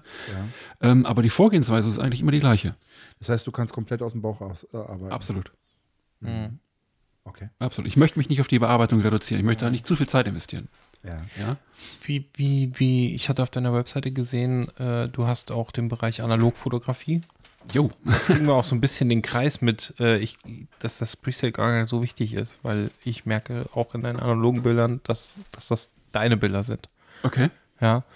Ähm, wie, also auf der Webseite hast du es. Auf der hast du es ganz klar, es, es ist sogar ziemlich weit oben. Ist unterschieden, genau. Ja, ist aber auch tatsächlich im Portfolio, glaube ich, ziemlich weit oben, wenn ich das Mhm, richtig in Erinnerung genau, habe. Genau. Ähm, Ist aber Zufall. Ist ein Zufall, okay. Ich hätte mich nämlich jetzt gefragt, ähm, ja, warum da so weit oben Mhm. und auf der, also auf Instagram ist es ja erstmal nicht so präsent. Gar nicht. Ich glaube, Ja. da ist nur ein, ich glaube, ich habe einmal was veröffentlicht, was analog war. Ansonsten ist alles digital. Okay. Ich habe letztes Jahr einfach, ähm, ich habe mir vor, vor zwei Jahren habe ich mir meine alte Kamera wieder gekauft. Ich habe mir irgendwann mal als Jugendlicher, habe ich mal mit einer A1 angefangen Mhm. ähm, und habe mir gedacht, so, jetzt entschleunigst du dich mal ein bisschen. Back to the Roots, habe mir dann so eine alte A1 gekauft, habe mir dann General überholen lassen, habe mir einen 85er gekauft. Ähm, ein paar Analogfilme, habe dann versucht zu entwickeln, ist komplett in die Hose gegangen. Ich habe das, ich hab das als Jugendlicher gemacht, das hat, das hat funktioniert, heute gar nicht. Da bin ich hier zu Mario Dirks, habe mir da mal so einen, so einen Workshop reingetan und der hat mich da so ein bisschen getriggert. Mhm. Dann beschäftigst du dich ein bisschen damit und ähm, das ganze Zeugs gekauft, also Scanner und äh, Chemie und keine Ahnung was. Mhm. Und ähm, im Moment ist es ein bisschen, kommt es zu wenig äh, ähm, zum Einsatz, aber mein Ziel war es halt, bei jedem Shooting auch einen Film mit zu verballern Mhm. ähm, und wirklich komplett entschleunigt. Mhm. Und das ist echt, das macht Spaß. Das macht Ja, Spaß. auf jeden Aber Fall. wo siehst du denn gena- genau den Unterschied zwischen digital und analog? Ist es dieses Entschleunigen oder Das ist das Entschleunigen. Das ist das noch mehr Kontrollierte. Weil du halt nicht dauer, das ist halt, beim, ich finde das teilweise echt spannend, dass du wirklich 36 Bilder hast. Mhm. Du machst die Bilder du, und du denkst dann, du musst doch jetzt schon durch sein. So Ja. viele Bilder, wie du gemacht hast. Und dann guckst du auf die Kamera, hast gerade mal zwölf Bilder gemacht. Mhm. Man wundert sich sozusagen. Ja, klar. Aha. Und das finde ich so spannend. Mhm. Okay. Mhm. Also es ist sozusagen, hat mehr oder weniger mit dir selber zu tun. Immer, natürlich. Mhm. Und die Ergebnisse dann nachher, wie würdest du sagen, du siehst das? Also jetzt mal abgesehen davon, dass der Bildlook so ein bisschen anders ist und so weiter. Aber würdest du sagen, ich sehe diese Entschleunigung in den Bildern? Also ein Stück weit sind die Bilder ja eigentlich genauso wie mit, wie mit digital aufgenommen. Mhm. Also da bin ich halt schon der Kontrollfreak, ähm, ne, dass ich halt schon irgendwie ein Bild gestalten kann und das mache ich dann im Analogen genauso. Aber da vielleicht noch mal ein bisschen detaillierter, noch ein bisschen genauer. Ne, weil du genau weißt, du hast jetzt nicht so viele Versuche. Ähm, das heißt, du machst eine, eine Szenerie, nimmst du, machst du drei Aufnahmen, dann muss das Ding sitzen. Mhm. Und das, das, deswegen habe ich aber auch gesagt, äh, man sieht es trotzdem, ist halt, du, du hast ja ähm, Bildschnitte Mhm. und so, die sind ja ähnlich gewählt wie im, äh, und auch die, die Stimmung, die sonst Mhm. aufkommt, das ist ja eine, das, da erkennt man eben auch deine Fotografie wieder. Mhm. Ja, und deswegen sage ich halt, das ist das, wo ich halt sage, so, ja, also da bin ich mittlerweile weg von, dass ich sage, der, der, das Preset ist da nicht mehr so. Nee, natürlich. Also Ja. äh, finde ich, finde ich auch. Also es gibt so viele Aspekte in, äh, in Bildern ähm, jenseits des, des, des Looks. Mhm. Ähm, das ist immer irgendwie erkennbar. Mhm. Definitiv. Also ähm, wenn ich dir ein Preset von mir geben würde, ich glaube, es wäre immer noch erkennbar als dein Bild. Ja, ich finde, es darf auch nicht vom Preset abhängen. Ja. Ja, also es, natürlich gibt es Presets, die wirklich farblich oder in, in der Schwarz-Weiß-Bearbeitung so intensiv sind, dass die natürlich hochpoppen. Ja. Aber ich glaube, der Bildinhalt sollte mehr entscheidend für, das, für die Aussage sein. Ja, ich habe das, äh, das fand ich übrigens äh, neulich mal ganz interessant. Ich habe mich mit einem Fotografen unterhalten und äh, der so, ähm, kann ich ja sagen, das war, war der Jörg, äh, mit dem wir auch schon zweimal hier im, im Podcast waren und äh, der hatte irgendwie ähm, Frankfurter Fashion Week äh, fotografiert und dann äh, mit einigen Modellen nochmal sozusagen abseits nochmal so ein paar Bilder gemacht. Mhm. Ne? So, so hier drei Minuten Zeit, wir ein paar Bilder. Und der sagt, er hat dann festgestellt, er sagt, es ist völlig egal, was für ein Bildlook du nimmst. Die Leute wollen sich einfach nur selber gefallen, Mhm. sozusagen. Ja. Und wenn's, wenn, wenn das Licht stimmt und die Stimmung stimmt, ist alles andere egal. Ist so. Ne? Kann, man, kann man wirklich so sagen. Ja. Ähm, mal was anderes Das nochmal. ist sogar, Ja. noch, noch ganz kurz, ähm, wenn wir uns selber ja auf das Preset reduzieren würden, Ja. dann würden wir ja schon fast so einem Satz wie deine Kamera macht schöne Bilder äh, zustimmen. Also da weißt du eigentlich, dass ich diesen Satz äh, als Eingangssatz Ja, hast du mir noch sagen wollte und ich habe ihn vergessen, verdammt. Stefan, was hast du denn für eine Kamera? Die macht echt tolle Bilder. weiß. sagen. ja, eine Eins. Ja. Okay, ähm, nein, wo, äh, Das wollt ihr nicht wirklich wissen, oder? nein, mir ist das äh, Werkzeug ist, Also du kannst das sagen, Ja, aber das kann ich gerne sagen, vielleicht für die Zuhörer. Das ist einfach, ich arbeite mit einer Sony Sie- äh, Alpha 7 III ich auch. und ähm, mit einem, also in 95% der Fälle mit einem Sigma 8514. Okay. Du hast übrigens das äh, 5012 mal zum Testen gehabt Letzte oder hast du es noch? Ich hatte es hier, ja. Und wie ist es? Spannend. Es ist, es ist halt weitwinkliger. Es ist halt 50 mm klar. Ja. Ne? Ähm, ach das Sigma. das Sigma Ah ja, okay. 1, 2, Ja. wirklich spannend. Ähm, wir hatten letzte Woche Aufnahmen hier Ja. und ähm, da war Model und das ist schon, das ist schon brutal. Also von der Freistellung ist das schon echt. Mehr wie es 85, 1,4? Nein, nein, nein, das, das, das, das ist ja nicht vergleichen. 50 ist ja schon ein bisschen weitwinkliger, ne? 85 ist ja mehr Telebereich. Also ähm, ich glaube, das ist zu vergleichen, aber mit dem 50er hast du halt mehr drauf und du hast trotzdem diese Freistellung. Ne? Das macht es halt spannend. Jetzt habe ich hier nicht die Möglichkeit gehabt, draußen zu fotografieren, weil wir wirklich Regen hatten. Also das war blöd. Ja. Das heißt, ich war im Porträtbereich. Ähm, und da finde ich dann, mein, meine persönliche Meinung dazu ist, ich komme dem Model zu nah. Also mit einem 50er, um da Close-Up zu machen, bist du wirklich sehr nah. Und ich möchte dem, dem Model nicht zu nahe kommen. Ich möchte so die, die Wohlfühl, Wohlfühlzone nicht verlassen. Okay. Oder nicht betreten. Mit dem 85er bin ich da im guten Bereich. Das heißt, du bist so gut einen Meter entfernt. Das geht. Mit dem 50er kommst du teilweise echt sehr nah ran. Ja, um wirklich nur das Gesicht zu haben. Und das war mir dann persönlich zu nah. Deswegen bin ich ein großer Freund vom 85er. Und wenn ich Close-Ups machen möchte, dann nehme ich meinen 135er, was, was irgendwo im Schrank verstaubt, weil ich das eigentlich nie nutze.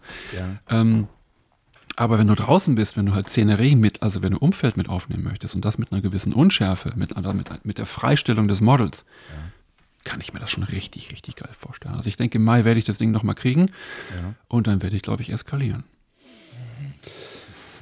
Das heißt, du würdest es mir empfehlen, weil ich bin ja auch, also ähm, Deswegen habe ich schon Ich, ich, weiß, ich weiß nicht, also du, du wirst wahrscheinlich mit einem 50-1-4er arbeiten. ja. So, Genau. Da weiß ich nicht, ob dann der Unterschied wirklich so marginal ist oder so groß ist, Mhm. dass es sich lohnt, das Geld dafür zu investieren. Ja? Ich, ich, kann, ich kann sagen, dass es sich auf jeden Fall lohnt. Okay. Also das ist, äh, ich, 50 ist ja meine Brennweite Mhm. und äh, der Sprung von 1,4 auf 1,2 ist äh, spürbar. Also Ich muss aber dazu sagen, es ist ja auch schon die ganze Zeit meine Brennweite gewesen. Das Ja. heißt, das ist so ein, das ist wieder so, äh, das ist ja eine halbe Blende, müsste das sein?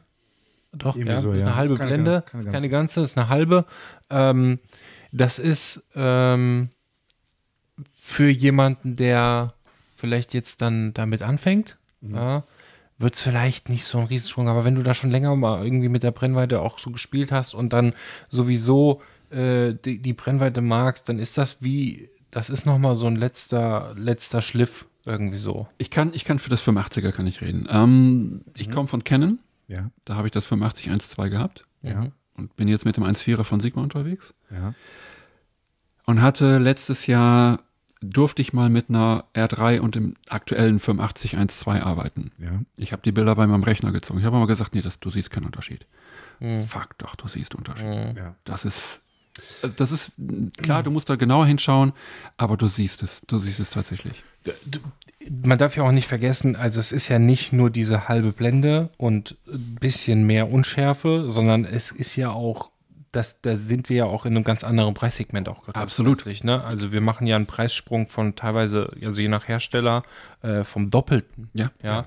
Und äh, natürlich siehst du dann das auch in puncto Schärfe, Kontraste, Farben. So, also da wurde einfach ein bisschen mehr, wo ein bisschen mehr Entwicklungsarbeit drin steckt. Mhm. Ja, und das siehst du natürlich dann auch. Ich würde aber auch sagen, da gehört trotzdem auch schon eine gewisse Erfahrung dazu. Also für einen Anfänger, der wird es vielleicht jetzt nicht so sehen. Ja, aber da sind wir beim Punkt, macht es das Bild dann wirklich besser? Das Ist es, das ist der Punkt. Ja, wenn du dich Ne? damit, also wenn du dich damit irgendwie, wenn es dich beflügelt, Mhm. dann auf jeden Fall. Mhm. Ja, wenn du aber jetzt irgendwie sagst, so, ja, ist jetzt, ist ganz nett, aber irgendwie, ja, Das- das- das- dann lohnt sich's nicht. Das Ding war, ich habe mir letztes Jahr mal von, von Timo das ähm, 5012 ausgeliehen. Mhm. Das Sony. Das Sony, der Mhm. G-Master. Ähm, einfach mal so aus Interesse und habe dann damit ein komplettes Shooting gemacht. Mhm. Und ich fand schon, der Unterschied war schon signifikant in dem Sinne, dass der Übergang zwischen Schärfe zu Unschärfe noch mal softer ist, noch mal homogener ist und so weiter. Das ist es. Ist nicht, Ist die, ist nicht die Freistellung selber. Mhm. Äh, die ist mir eigentlich relativ wumpe. Mhm. Ähm, aber so der, der, der Übergang, der ist noch mal weicher und on point. Bin ich bei dir, ja. Und ich weiß nicht, ob das beim, beim Sigma genauso ist oder ob es beim Sony sozusagen genau das ist, was sozusagen diese ja bald 700 Euro mehr nochmal zum Sigma Hm. nochmal sind. Weiß ich nicht. Also Sigma kostet so, ich glaube, 1,5 oder sowas. Das- ja, ich meine 1,4 irgendwie in dem Bereich, ja. Genau, und das, das Sony liegt bei 2,3. Ja, zu 2, glaube ich, aktuell. Irgendwie Wie auch sowas. immer. Also soll man das sozusagen da nochmal die, die Schippe, also wenn man schon mal Geld in die Hand nimmt, soll Mhm. man sozusagen sagen, okay, komm, die 700 Euro Mhm. lege ich auch nochmal mit drauf. Mhm. Ja, weiß ich nicht. Ähm.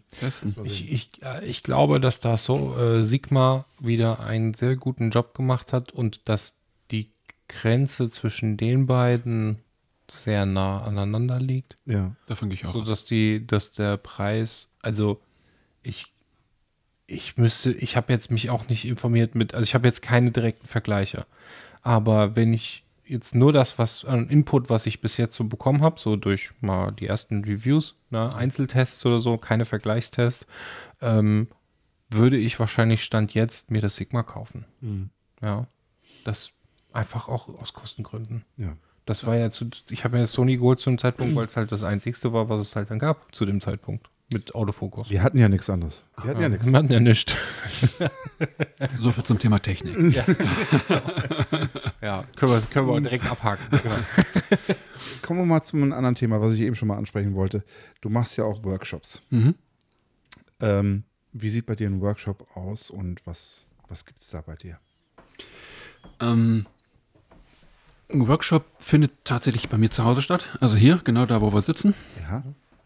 Ähm, mit einem sehr, sehr ausgiebigen Frühstück. Das heißt, ich versuche ich versuch, die Teilnehmer für den Tag wirklich in meine Fotografie zu pressen. Das heißt, Aha. ich beraube denen wirklich deren Fotografie, sondern ich packe die wirklich in meine Fotografie. Ja, Das wären Kopien von mir tatsächlich für den Tag, ja, ähm, weil ich möchte, dass die meine Schnitte, meine Philosophie, meine Vorgehensweise, meine Emotionalität, mein Eskalieren hinter der Kamera verstehen.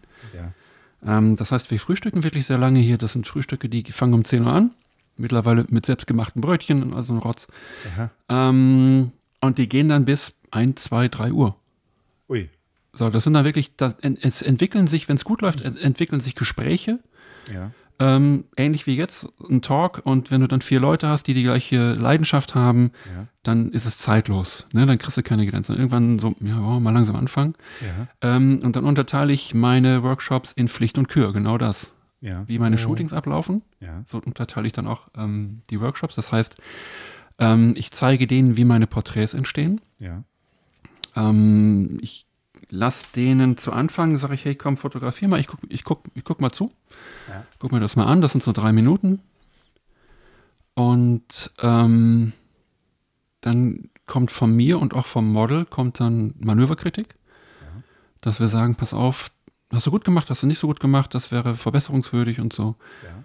Und ähm, ich habe mir mittlerweile angewöhnt, dann im zweiten Step, das heißt, das sind dann so die, wenn die dann selbstständig fotografieren und dann ähm, greife ich ein. Und das mache ich wirklich sehr intensiv und sehr aktiv. Ja. Das heißt, ich setze mich da nicht irgendwo hin und gucke zu, sondern ich stehe wirklich hinter demjenigen, der fotografiert. Ja. Ähm, das Model macht seine Posen, macht seine Bewegungen Ja. und der, der Workshop-Teilnehmer fotografiert dann, wenn es möglich ist, über sein Display, Ja. damit ich sehen kann, Was er er gerade macht, Mhm. was, welchen Schnitt er hat. Ja. Und dann greife ich von hinten ein, weil ich habe wirklich, ich, ich packe die in meine Bilder. Ich möchte einfach verstehen, welche Wirkung es hat, einen Bildschnitt, eine Perspektive zu verändern. Ja. Und auch wenn das Model sich bewegt, das, deswegen ist es wichtig, diesen Ausschnitt des Displays zu haben, weil du dann sofort anders fokussiert bist. Ähm, greife ich dann sofort ein. Das heißt, 2,10 Meter greifen von hinten auf deine Kamera und übernehmen die Führung. Das heißt, dass der Workshop-Teilnehmer macht nicht mehr die Bilder, sondern ich mache die Bilder. Ja. Ja, ich führe wirklich die Kamera und sage, und jetzt drück mal ab und, oder, oder vielmehr, ich sage, guck doch mal bitte, was auf dem Display passiert. Ja, und zeige dann auf dem Display schon, pass auf, das Model ist jetzt so, jetzt guck doch mal, wenn du den Schnitt veränderst, wenn du deine Perspektive veränderst, was passiert damit? Ja. Ja, ähm, deswegen, eins zu eins Kopie von mir. Das sind, also ich fotografiere dann durch die Workshop-Teilnehmer. Das heißt also, die, du bringst denen wirklich deine, deine Fotografie bei und äh, sagst nicht so, ich helfe dir jetzt weiter bei deiner Fotografie, sondern du bringst denen sozusagen das bei, was du kannst. Richtig. Ich hoffe, dass, ich meine, die sollen, die sollen ja keine Kopie von mir werden. Das können sie auch nicht, weil sie nicht Stefan Beutler sind. Ja. Ja, ist ganz klar.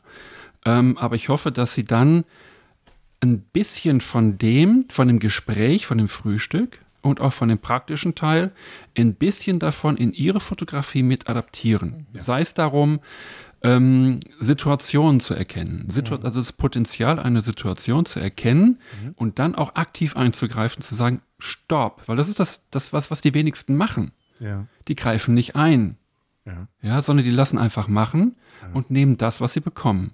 Das bin ich aber nicht. Ich möchte da wirklich das Bild gestalten. Ja. Ja, dass ich sage, und das, wenn das Model sich bewegt, dass ich sage, aktiv Stopp. Ja. Und dann durch kleine Eingriffe, hey, Kinn ein bisschen mehr nach unten und deine Augen ein bisschen mehr nach links, nach rechts oder einfach schließen. Ja. Und der Workshop-Teilnehmer sieht dann auf dem Display sofort, was passiert. Ja. Und dann durch den Schnitt, Mhm. so, und das ist das, was ich versuche zu erreichen. Das ist dann der Pflichtteil. Mhm. Der Kürteil ist dann einfach, dann drehe ich dann wieder am Rad und sag dann, mach dann irgendwas, irgendwas, ähm, irgendwas Kreatives, versuche dann irgendwas, mir irgendwas auszudenken und dann, ja.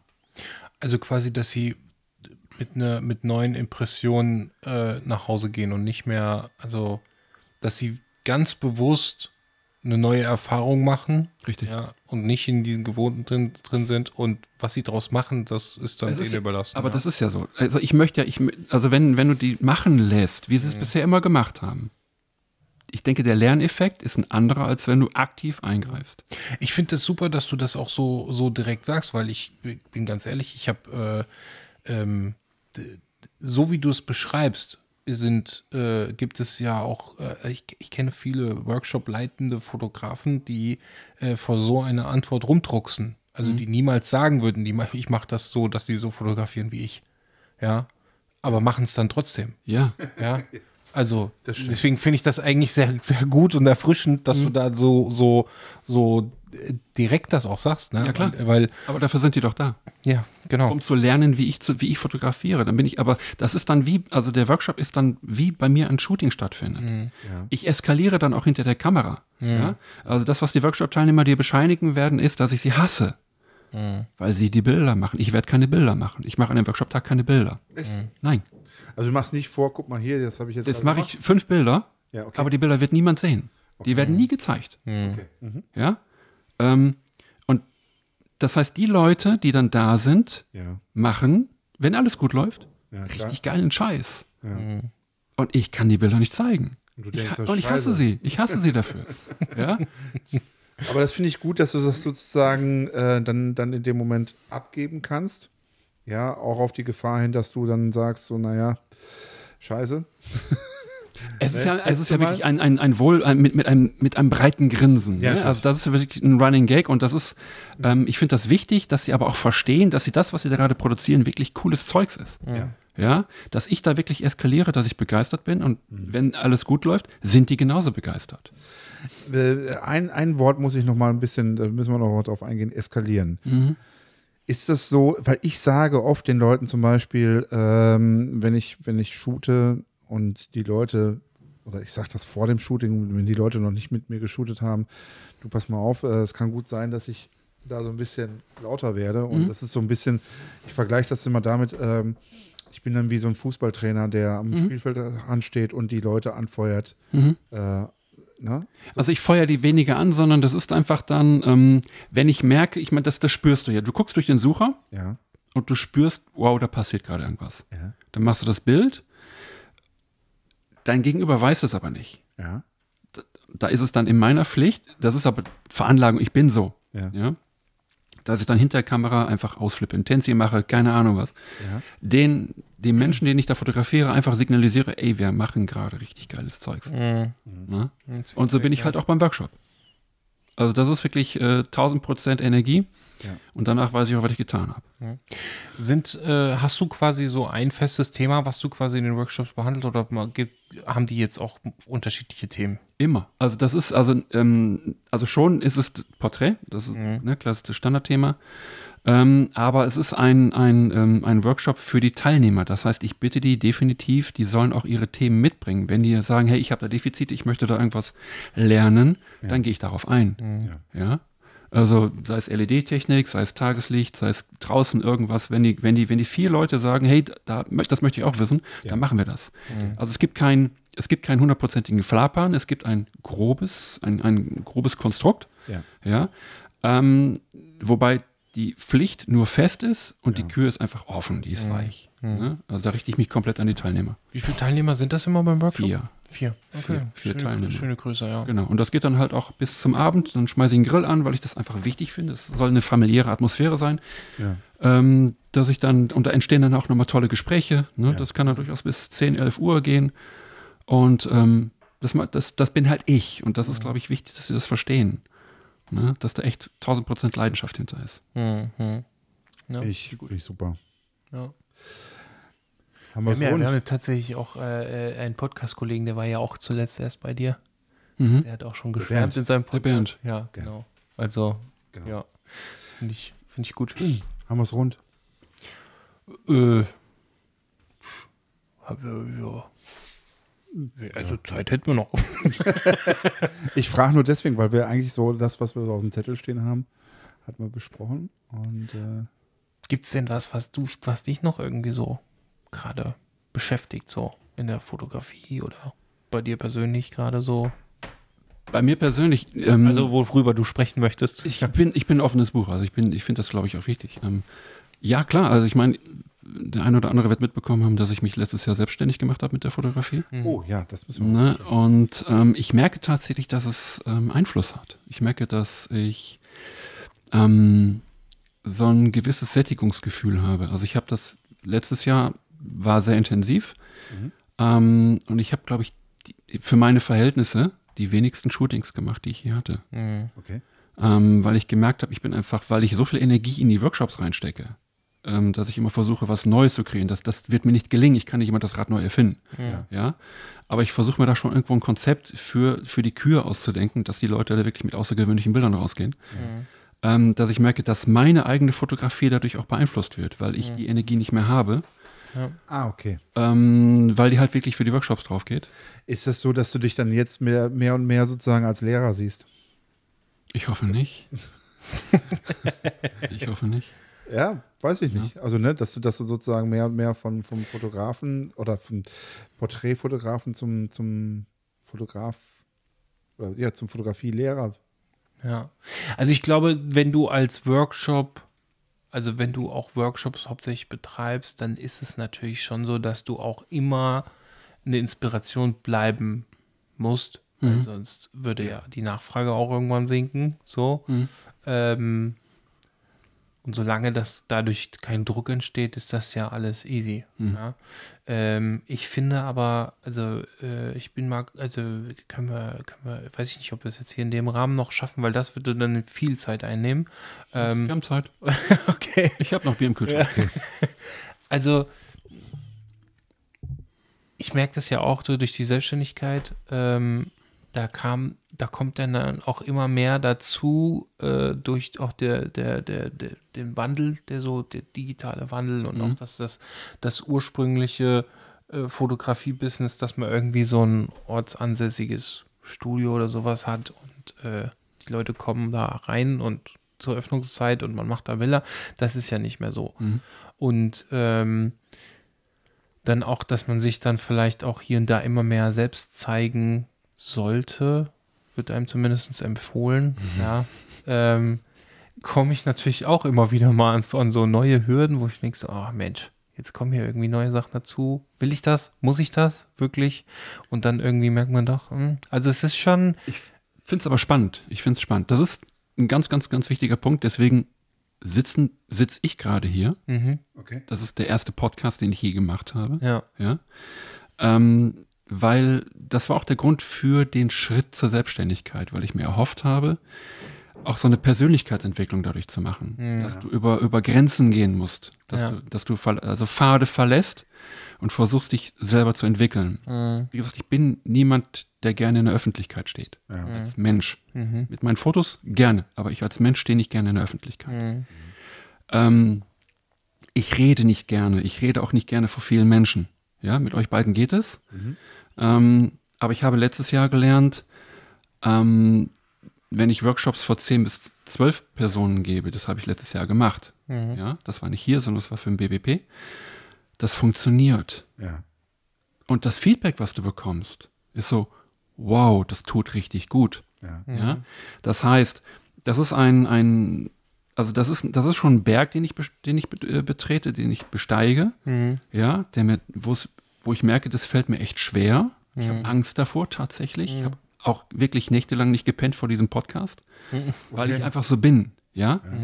Merke aber, doch, das funktioniert. Und das finde ich, das ist ein wichtiger Schritt. Ja, einfach diese Persönlichkeitsentwicklung zu sagen, okay, geh doch einfach, mach doch einfach. Ja, einfach machen. Was kann, was kann großartig passieren? ja, ja. Ja, das, das, das, das Ding ist, ich meine, wir hatten uns ja schon, schon vor, ich glaube, anderthalb Jahren mal darüber unterhalten, ob wir mal zusammen podcasten wollen. Und da hat es ja sch- kategorisch sozusagen abgelehnt. Ähm, ist auch, ist ja, ist ja auch alles, äh, alles, alles gut. Ähm, ich glaube, ich hatte neulich mal einen anderen Podcast über dieses Thema Marketing und so weiter äh, oder beziehungsweise Business-Thema Marketing, was da natürlich immer mit reinspielt und so. Ähm, das war aber bezogen auf Musik, aber es lässt sich komplett übertragen auf, auf Fotografie. Ähm, früher war es so, dass man als Musiker ähm, eine Platte gemacht hat, ähm, ein paar Singles rausgebracht hat, Videos dazu gemacht hat und eine Tour gemacht hat. Mhm. Diese Formel hat funktioniert über Jahrzehnte. Also eine Band wie Metallica oder wer auch immer, die wussten, okay, alle zwei Jahre müssen wir eine Platte rausbringen. Touren ein Jahr lang. Ähm, gut, am, in den 80ern haben sie auch keine Videos gemacht, aber in den 90ern dann. Wie auch immer. Also die Formel war sozusagen klar. Heute ist es nicht mehr so. Heute machen die wenigsten oder nur noch wenige äh, tatsächlich Videos, weil man einfach sagt, okay, ist dies, äh, dieser Invest, ist es das überhaupt wert? Also ein Video so im mittleren Bereich, irgendwie deutschsprachige mm, Hip-Hop-Act oder sowas, der zahlt zwischen 50 und 70.000 Euro für so ein Video. Das ist echt viel Geld. Ähm, oder sagt er, ich mache ein paar TikToks, äh, bewerbe die und schmeiß mal 10.000 Euro in, in TikTok rein, äh, bringt mir das mehr. Das ist der Das- Wandel der Zeit. Ja, Das ist der Wan- Wandel der Zeit. Und was dazu kommt, ist, ähm, früher war es so, dass man sozusagen, äh, du hast eine Platte rausgebracht, da war vielleicht ein Bild von dir drauf äh, oder hinten drauf, vorne ein anderes Cover oder sowas. Und das war dein Image für lange Zeit, bis die nächste Platte rauskam. Vielleicht kam da hier und da mal ein Interview mit einem anderen Bild dazu oder sowas.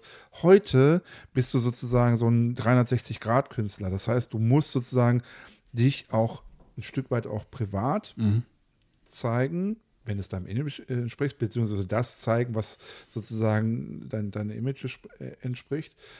Imagepflege äh, betreiben und so weiter und so fort. Das heißt, du, die, das- Publikum möchte gerne ähm, wissen, mit wem habe ich es zu tun. Ja, äh, wie ist die Person in, in Anführungsstrichen privat und so weiter. Lohnt es sich sozusagen da ein Ticket zu kaufen? Ja. Ähm, und, und, und wa- was sagt er sonst so? Ne? Und was, was hat er für eine Meinung? Und und und. Also man ist sozusagen eigentlich ständig präsent. Man muss nicht alles zeigen. Also wenn ich, was weiß ich, ähm, sage, okay, ich mache diese und jene Musik und ich habe ein Image, dass ich immer schwarze Klamotten an habe oder sowas, dann ist es vielleicht nicht so cool, wenn man sich im, im, im, im Bademantel zeigt oder sowas. Das muss dann vielleicht nicht unbedingt sein, muss, verlangt auch keiner. Aber trotzdem wollen die Leute halt möglichst viel Content von mir sehen. So, für dich jetzt sozusagen als, als, als Fotograf, der ja auch einen Haufen Follower auf, auf, auf Instagram hat, das ist ja dann auch, auch nochmal so ein Thema. Ne? Du hast, glaube ich, 180.000 oder sowas, also ein riesiges Publikum letztendlich.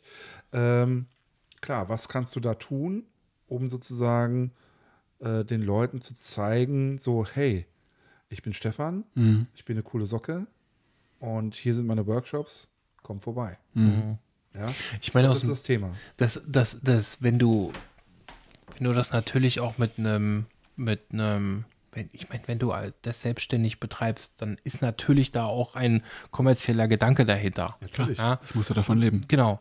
Und ähm, sowieso, da bin ich auch gerade an einem Thema, äh, das, das Thema Idee, nächsten, ähm, wegen äh, auch im Punkto Wertschätzung, ne? also die, den eigenen Wert, den man sich gibt, das ist, äh, das wird oft äh, vernachlässigt so an dem Punkt, ja, aber ist so wichtig und es ist eigentlich auch schon, ich weiß, manche verteufeln das, dass sobald irgendwie Geld verlangt wird oder Geld irgendwie fließt in Form von, weiß ich nicht. Also wenn wir mal irgendwie Werbung machen sollten äh, in unserem Podcast, würden wahrscheinlich auch ein paar Hörer gehen.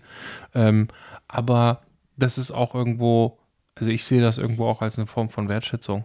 Ja?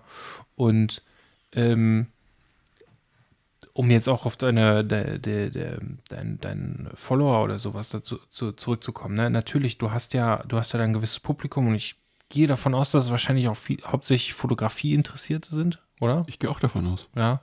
Ähm, natürlich macht es dann auch Sinn, dem äh, da diese, dieses Publikum auch irgendwo zu, in, in einer Form zu bedienen. Also natürlich musst du damit fein sein. Ja? Das ist das, du sollst dich ja nicht verbiegen. Aber ähm, es ist schon, es ist schon so, dass du, also du kannst ja im Prinzip, egal ob es jetzt das, das Buch ist oder, oder Workshops oder auch Content, ähm, alles, was, was äh, genau in diese Zielgruppe irgendwie reinpasst äh, und denen gefallen könnte, ähm, kann man auf jeden Fall bedienen. So, ne? Und Es muss du halt darfst denen natürlich auch mal was aufdrücken, ja, um sie zu erziehen vielleicht auch, ja, äh, zu, zu, zu sagen, so hier, nee, also nur weil ihr alle Fotografen das so macht, heißt das nicht, dass ich das auch so machen muss. Ja, es muss aber auch zu dir trotzdem passen, ne? Hier, Das ist der Punkt, genau. ja, also hier habe ich etwas, äh, ein Angebot, das könnte vielleicht euch auch ganz gut gefallen. Ja, so. ich, ich merke das halt, ähm, dass ähm, einfach nur Fotos zeigen als Werbung nicht reicht. Mhm. Das, das funktioniert nicht. Nicht mehr. Ja. Nicht bei mir. Ja, also dadurch, dass ich jetzt da, davon leben muss und ich merke das auch dieses Jahr, ähm, dass die Nachfrage nach den Workshops einfach sehr, sehr viel geringer ist als letztes Jahr oder als sonst die letzten Jahre. Ne? Und das ist aber scheint ein allgemeiner Trend zu sein. Ich Kurzfristiger? Also Frage in eigener Interesse? Kurzfristiger oder so generell? nein, es war eine, ähm, ich glaube generell. Okay, ja. Ich glaube generell. Ich hat, hatte sonst nie Probleme, die Workshops ausgebucht zu bekommen und dieses Jahr ist so, so ein Cut. Mhm. Aber wie gesagt, das scheint, scheint ein grundsätzliches Problem zu sein. Ich habe mit vielen anderen gesprochen, die ein ähnliches Problem haben. Ist Wobei halt so, auf dem, also zu ich vorhin geguckt habe, war glaube ich nur noch einer mit einem Platz frei. Ja, natürlich. Aber ich meine, um davon leben zu können, muss ich natürlich ein paar Workshops mehr machen. Ja, okay. Ne? Die habe ja. ich, die habe ich rausgenommen, die Termine, Okay. weil die nicht gebucht worden sind. Ah ja, okay. Mhm. Ne? Ähm, ist es so, dass es vielleicht auch zu viele Workshops gibt, also zu viel Angebot? Weil du kannst ja wirklich gefühlt bei jedem zweiten Fotografen kannst du irgendwie einen Workshop. Das stimmt. Aber nicht bei Stefan Beutler. Das, ja, nee, ist schon klar. Aber ja, also da Es gibt's, kann durchaus sein, dass halt auch ähm, die Nachfrage nicht mehr da ist, dass es auch ähm, gesättigt ist, dass die Leute, die einen Workshop bei mir machen wollten, ja. jetzt alle schon da waren. Das kann natürlich sein. Ne? Also ich glaube, dass mir, äh, dass hier jeder Hörer äh, bestätigen kann, dass du dich auch häufiger äh, irgendwie zeigen kannst. Mhm. So jetzt, also allein schon durch dieses Gespräch jetzt hier. Ähm, und ich kann mir vorstellen, dass das auch noch mal, wenn du das, wenn du da ein Medium für dich findest, Mhm. so dich zu zeigen, äh, dass das das beflügeln würde. Ja. Ich befürchte auch. Ja. Also es Ähm, muss ja nicht, es muss ja Podcast. nicht, Podcast, deswegen. du musst dich ja jetzt nicht vorm Ringlicht irgendwie positionieren Nein, und immer nein, nein, irgendwie nein, in, nein, nein. in das Handy reinbabbeln. So, Nein, nein. Ne? Also, ne? Also ähm, ich glaube, da gibt es auch ein, paar, ein passendes Format so für dich. Ähm, und da, es klingelt wieder. Post, Post. Post. Lassen wir jetzt erstmal klingeln, ist jetzt immer egal. ähm, also ich, ich glaube, ähm, deswegen, ich, ich, ich der Postbote will es wissen. Mm, ist der Nachbar wahrscheinlich. So. ähm, ich ähm, ich habe da auch meinen meinen Punkt mit. Ja, also wir machen mal Pause. Wir machen Ja. Pause. Ja. Und weiter geht's. Also wir waren wir waren ja bei bei ähm, Öffentlichkeit. Öffentlichkeit beziehungsweise Auftreten. Ich habe da ähm, ich habe da natürlich auch so meine Punkte mit. So, ne? Und ähm, ich weiß aber auch, dass wenn ich, wenn mir, wenn ich ein Feedback bekomme, so, ey, warum machst du dir da noch Gedanken? Mach doch einfach so. Ähm, das ist schon, äh, ich, ich glaube, das ist halt auch, wenn man halt sehr, man muss diese Erfahrung einfach auch machen. Ne? Also da, da, da reingehen und sagen, okay, komm, äh, mache ich jetzt einfach und ähm, vieles ergibt sich ja sowieso auch im Machen. Ja. Ja, und ob es jetzt, ob es jetzt, wenn ich jetzt einmal ins Handy reinspreche und mich zeige, heißt das ja nicht, dass das dann das neue Format ist, sondern Mhm. das ist vielleicht auch, ich probiere das aus, fühle ich mich wohl damit, Mhm. ja, dann mache ich es vielleicht häufiger, nicht, dann suche ich mir halt was Neues wieder. Ja. Vielleicht ist es einfach das Menschliche, das, das menschlich, das Menschsein. ja. Ne, dass du dann, wenn du in die Öffentlichkeit trittst und das ist dann halt ein Videoformat oder ein Handyformat oder was auch immer, dass du ein kleines Video aufnimmst oder halt ein Podcast, Mhm. ähm, dass du als Mensch dann auch anders wahrgenommen wirst, was Ja. glaube ich wichtig ist und das dann nochmal einen Bezug oder einen anderen Bezug zu den Bildern gibt, ja. dass du die Bilder anders verstehst, dass du damit etwas verbindest. Ja.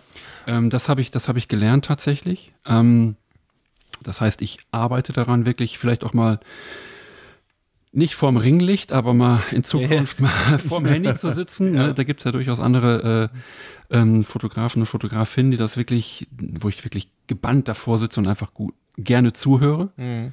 Ja. Ähm, und ich merke halt auch immer mehr, dass zum Beispiel das Video, was Fotomorgen damals von mir gemacht hat, diese acht Minuten, Ja. das wird immer angesprochen. Mhm. Das wird immer angesprochen, dass die sagen, das Video hat mich getriggert, bei dir einen Workshop zu machen. ja, guck an. Und da merkst du halt einfach doch die Wichtigkeit von so einem Ding. Ja, ja, ich, ich, ich glaube, also das ist auch ein guter Punkt. Und ich, was du auf jeden Fall hast, ist, und wo du da auch vielen voraus bist, ist, du hast, du hast ein Warum und du hast ein Wa- was du du hast was zu sagen. Mhm. Ja. Ähm, TikTok ist für mich eine Plattform von, äh, also die ist zu 80 Prozent ist das Nonsens-Content. Mhm. Ja. Ähm, und ich merke auch immer mehr, dass gerade in dem, in dem Wandel, so jetzt gerade im Social Media, das Konsumverhalten, wie man Social Media konsumiert, Mhm. ähm, es kommt die Zeit an, in dem, wo dieser Nonsens-Content, ähm, das ist, da gibt es natürlich virale One-Hit-Wonder, so, ähm, aber jeder, der was zu sagen hat und ein Thema hat, ist dem voraus, ja, und kann, muss jetzt nicht unbedingt viral gehen. Ich meine, dass wir als Fotografen äh, mit irgendwie, ne, also wenn wir jetzt irgendwie ein Objektiv vorstellen oder jetzt irgendwie zeigen, wie wir fotografieren, dass wir damit eine Viralität bekommen, die jetzt irgendwie für die breite Masse interessant ist, Nein. ist geringer. Aber du hast ja- für dich. Aber ja, du hast ja schon eine Vorbildfunktion. Du hast ja für, Genau. viele, für viele andere deiner Follower hast ja schon irgendwo eine Vorbildfunktion. ja. Genau. So, und da ist es ja dann, du, du hast ja dann auch das Gewicht, Hm. dass du durch deine Meinung andere wirklich beeinflussen kannst. ja, Ne? In deren. Tätigkeit, in deren Kaufentscheidungen oder was auch immer. ja, Ja, total. Ja. Absolut. Das ist ja genau das, was Influencer halt auch irgendwo ähm, äh, sozusagen das Influencertum zugrunde liegt. Ja, ich glaube aber schon, dass es, dass es für dich irgendein Format geben wird, was dich ähm, so zeigt, einmal so wie du bist Mhm. und was auch zu dir passt, ohne dass es irgendwie peinlich wird oder sowas. Mhm. Ja, oder aufgesetzt oder Mhm. sowas. Ja, das ist vielleicht ganz wichtig. Na, und wie heißt eigentlich die Katze, die hier gerade ähm, hochkommt? Das ist Ratz. Ratz. Okay. Passt, ü- passt übrigens sehr gut farblich hier zur Wohnung, muss ich sagen. An der Katze ausgerichtet oder andersrum. Ähm, ne, also es, es wird was geben. Ähm, die Frage ist halt, ähm, was weiß ich, ne, man kann ja auch sowas über, über Live-Shootings oder sowas nachdenken oder sowas, Mhm. das mal online zu stellen, zu Mhm. zeigen, so hier, so, Mhm. so mache ich das. Man muss ja nicht alles zeigen, dass man jetzt sozusagen jedes Geheimnis ver verrät, so, so ein bisschen so ein Sneak. Aber bitte, Ja, ähm, beim Workshop, es gibt bei mir keine Geheimnisse. Ich ziehe blank. ja. Und trotzdem werden die Fotos nicht so, wie meine Fotos werden, weil die Menschen nicht ich bin. Also nicht ich sind, also nicht Stefan Beutler sind. Ja, klar. Ne? Und die sind nicht Stefan Mark und die sind auch nicht Timo. Das Ja. ist halt, das unterscheidet uns. Ja. Ja, deswegen, ich ziehe blank. Also ich ziehe zieh mich komplett aus und bei so einem Live-Shooting würde ich mich komplett aus. Also, ne? Ihr versteht Über, schon. Ich lasse die Klamotten an, aber genau, übertragenen Sinne. Richtig. Ähm, weil ich das wichtig finde, damit die Leute auch wissen, okay, der kocht auch nur mit Wasser. Mhm. Ja? Ja, das, das ist sowieso so. Ja, aber das, das ist ja sowas. Ähm, ja, aber da, da. Weiß ich nicht. Ich weiß, Wo hast ich weiß jetzt was das du Aber meinst. her? Hä? Wo hast denn jetzt das Aber her? Nee, ich weiß, was du meinst. Ähm, ich weiß, was du meinst, weil das ist natürlich, wenn du neu bist in der Fotografie, dann ist das schon so ein kleiner Zauber, wenn du den ersten Fotografen, also jemand, der schon länger macht, Mhm. beim Fotografieren zuguckst und denkst auf einmal so, Hä, was, wie kann der jetzt aus dieser Situation hier so ein schönes Bild machen? Mhm. Ja. Ähm, wenn man das aber länger betreibt und deswegen das Aber, ähm, wird ja schon klar, dass das jetzt natürlich, dass wir jetzt natürlich nur mit Wasser kochen, Mhm. auch. Ähm, das aber das, äh, das ist ja, das ist ja schon eigentlich ein, so, ein, so, ein, so ein manifestierter Irrglaube, dass, dass irgendwie wir jetzt mit irgendwie der neuen Technik oder so, also irgendwie bestimmte Art und Weise, die Bilder machen, die so toll sind. Mhm. Ne? Das ist ja, das ist ja ein Prozess. Das ist ja, das ist ja, und wir können ja als, als Fotografen, und ich meine, du gibst Workshops, wir haben unseren Podcast und wir geben einen Input quasi in die Fotografie-Szene so äh, und können da in gewisser Weise ähm, die Leute damit irgendwo schon auch beeinflussen, haben irgendwie vielleicht auch, eine, also wir haben eine Vor Vorbildfunktion auf jeden Fall, ähm, können sie inspirieren, aber sie werden ja nicht dadurch dann die Bilder machen, die wir machen. Richtig. Wir können ihnen quasi auf den Weg dahin ähm, Anstöße geben Richtig. und sie, sie müssen sie aber umsetzen Richtig. Wir können sie inspirieren. wir, wir haben, ich habe das auch schon erlebt, dass du, äh, dass das, äh, also ich selber auch, ich gehe mal wirklich jetzt nur bei mir und nicht mal bei, bei anderen Fotografen. Ich habe auch schon einen Workshop gemacht, wo ich im Nachhinein keine anderen Bilder gemacht habe. Mhm. Ja, weil ich äh, nicht in die Umsetzung gekommen bin. Mhm. Ja, weil, ähm, und das, das muss nicht mal unbedingt äh, nicht meine Fotografie gewesen sein. Weil du kannst ja auch beim Foto, beim Workshop kannst du ja auch für dich entscheiden, na jetzt, wo ich das hier so sehe, Hm. sagt mir nicht so zu. Es kann auch wirklich einfach sein, weil ich nicht da mit einer gewissen Ambition dahinter war und zu sagen, okay, jetzt habe ich das alles gelernt. Am besten mache ich schon gleich fürs nächste Wochenende ein Shooting aus und setze es um. Ja, dann bleibt das viel mehr drin. Hat aber vielleicht auch da wieder was mit so einer gewissen Kuration zu tun. Hat mir das wirklich gefallen? Finde ich das jetzt richtig geil? Ja, und setze es direkt um? Oder ist es halt wirklich so, ah ja, hier und da, das kann ich umsetzen und das reicht mir auch schon? Genau. Ja, also deswegen, ähm, ich glaube, da können wir uns alle von so ein bisschen lösen. Also ich meine, dass wir, dass wir sagen, okay, mein Gott, wir zeigen das halt jetzt, wie wir das machen. Richtig. So. Und es ist ja auch immer so, ich habe auch mit dem Gedanken gespielt, weil ich, ich, ich mache auch gerade so eine Phase durch, wo ich halt sage, okay, die Hochzeitsfotografie wird auf Dauer einfach nicht, also äh, wird auf Dauer nicht zu meinem Lebensstil passen, den ich mir erhoffe. Mhm. Weil sobald Kinder ins Spiel kommen, kann ich nicht mehr jedes Wochenende unterwegs sein. Noch haben wir keine Kinder, aber sobald es soweit ist, äh, geht es einfach nicht mehr. Und äh, mache mir natürlich dann auch Gedanken, was kannst du so machen.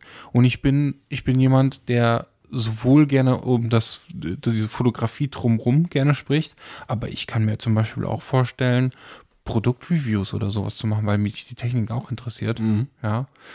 Und dann habe ich mir schon immer Gedanken gemacht, passt das zu, und das ist dann dieser, dieser Perfektionismus, der irgendwo da mitschwingt, ne?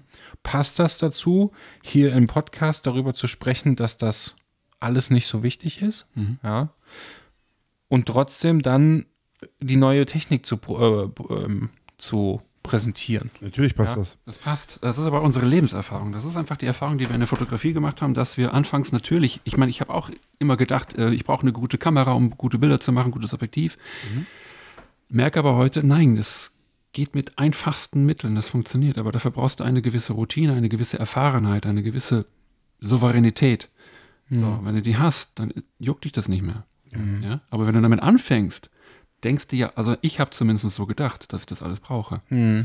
Ja, und es ist ja auch so, dass äh, gerade als jemand, der, der sagt, naja, die Technik ist erstmal zweitrangig und wenn du dann aber sozusagen Reviews machst ähm, und, und sagst, okay, das ist gut und das ist vielleicht nicht ganz so gut und das sehe ich und so weiter, wirst du als jemand empfunden, der sozusagen mit einem guten Abstand äh, die Dinge realistisch sieht. Mhm. Du kannst das ja nutzen.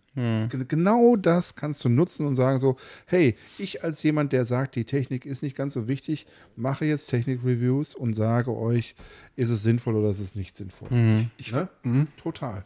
Ich, Total. ich vergleiche das immer, wenn, wenn, gerade wenn Thema Technik ist. Mm, Wenn du jetzt andere, andere Berufssparten nimmst als Beispiel, nimmst einen Koch. Na klar kannst du mit den Töpfen von Aldi ein gutes Gericht zaubern. Aber die hochwertigen Töpfe sind nun mal eben besser. Richtig. Die hochwertige Pfanne ist nun mal besser, wenn du jetzt einen Kfz-Mechaniker sprichst. Natürlich ist das Werkzeug von, von Lidl oder was auch immer. Damit kannst du ein Auto zerlegen. Aber wenn du dann Gedore oder Makita hast, dann ist es nochmal eine andere Qualität. Ja, und da, so ist es in der Knipserei, also in der Fotografie genauso. Ja, du kannst, du kannst mit einer, mit einer äh, ähm, kleinformatigen Kamera, mit einem äh, 50 1.8, mit einem von, von keiner, kannst du gute Bilder machen. Ja, du kannst aber um einen gewissen Prozentsatz bessere Bilder machen und dann aus technischer äh, Sicht gesehen, wenn du wirklich eine vollformatige hast und dann mit einer Blende 1.4 oder mit einer Blende 1.2 unterwegs bist. Vorausgesetzt, dass du ein Auge für den Inhalt hast. Richtig, und das lernst du. Richtig. Das ist der Das Punkt. ist genau das. Ich, ich habe, haben wir uns zwar schon mal im Podcast drüber unterhalten, ich weiß es nicht. Ich habe irgendwann letztes Jahr habe ich ein Video gesehen von Alessio Albi, wie er sich äh, endlich von dem 5018 äh, verabschiedet hat. Jetzt überleg mal. Ne, wir sprechen hier von Alessio Albi, ne? Mhm. großartig. Mhm. Und der hat letztes Jahr sozusagen sein Objektiv gegen ein höher, also ein, seine Plastikscherbe sozusagen Mhm. gegen ein höherwertiges äh, ausgetauscht. Mhm. So, mehr brauche ich nicht sagen. Ja, Ja? Aber wenn der dann sagt so, hey, ähm, das hat mir jetzt was gebracht und so und das sehe ich so und so und so, dann glaube ich ihm das auch. es ist so. Dann g- gerade dem glaube ich das. Genau. Ja? Von daher, man kann das alles schon nutzen. Äh, man muss es sich äh, nur so lange selber erzählen, bis man äh, äh, erzählen, dass man es auch jemand selber glaubt, Timo. Ja, ja genau. Das Muss ich da so lange einreden? Das ist ein guter Punkt. Ja. Ja.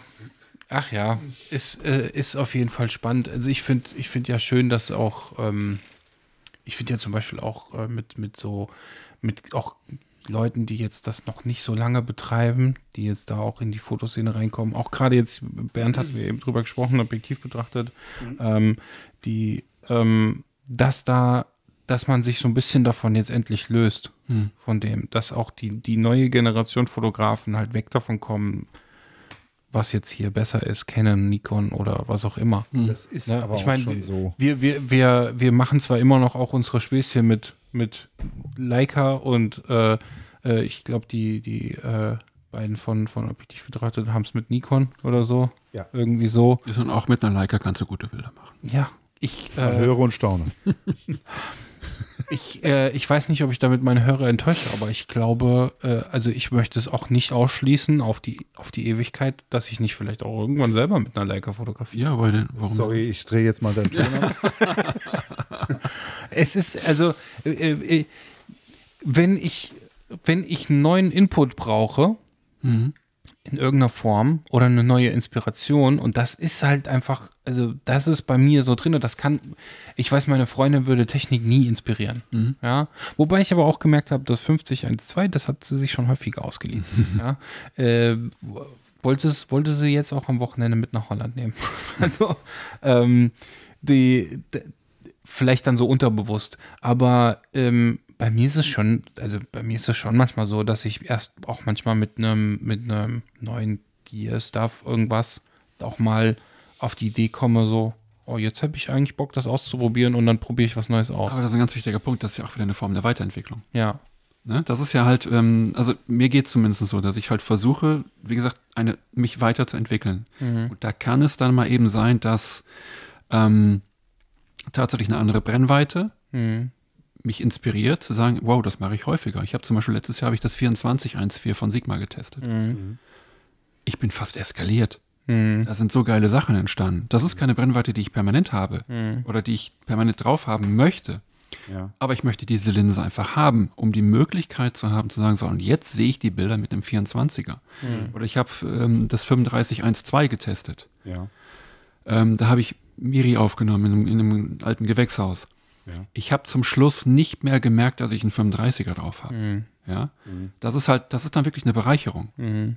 Deswegen finde ich das schon wichtig, dass man einfach auch diese, diese, diese Entwicklung einfach mal äh, zulässt. Auf jeden Fall. Ja. Ich habe das jetzt gerade in dem Rahmen, also ich, ich produziere quasi schon jetzt Sachen, die so in diese Produktreview, Mhm. also ein bisschen, ohne dass dann, dass ich jetzt irgendwas zur Verfügung Mhm. bekomme, sondern ich hole halt Sachen aus dem Schrank, die da irgendwie schon länger liegen und probiere die wieder aus. Und ich habe letztens habe ich ein Objektiv äh, aus, äh, ausgegraben, das hat- kostet 35 Euro. Mhm.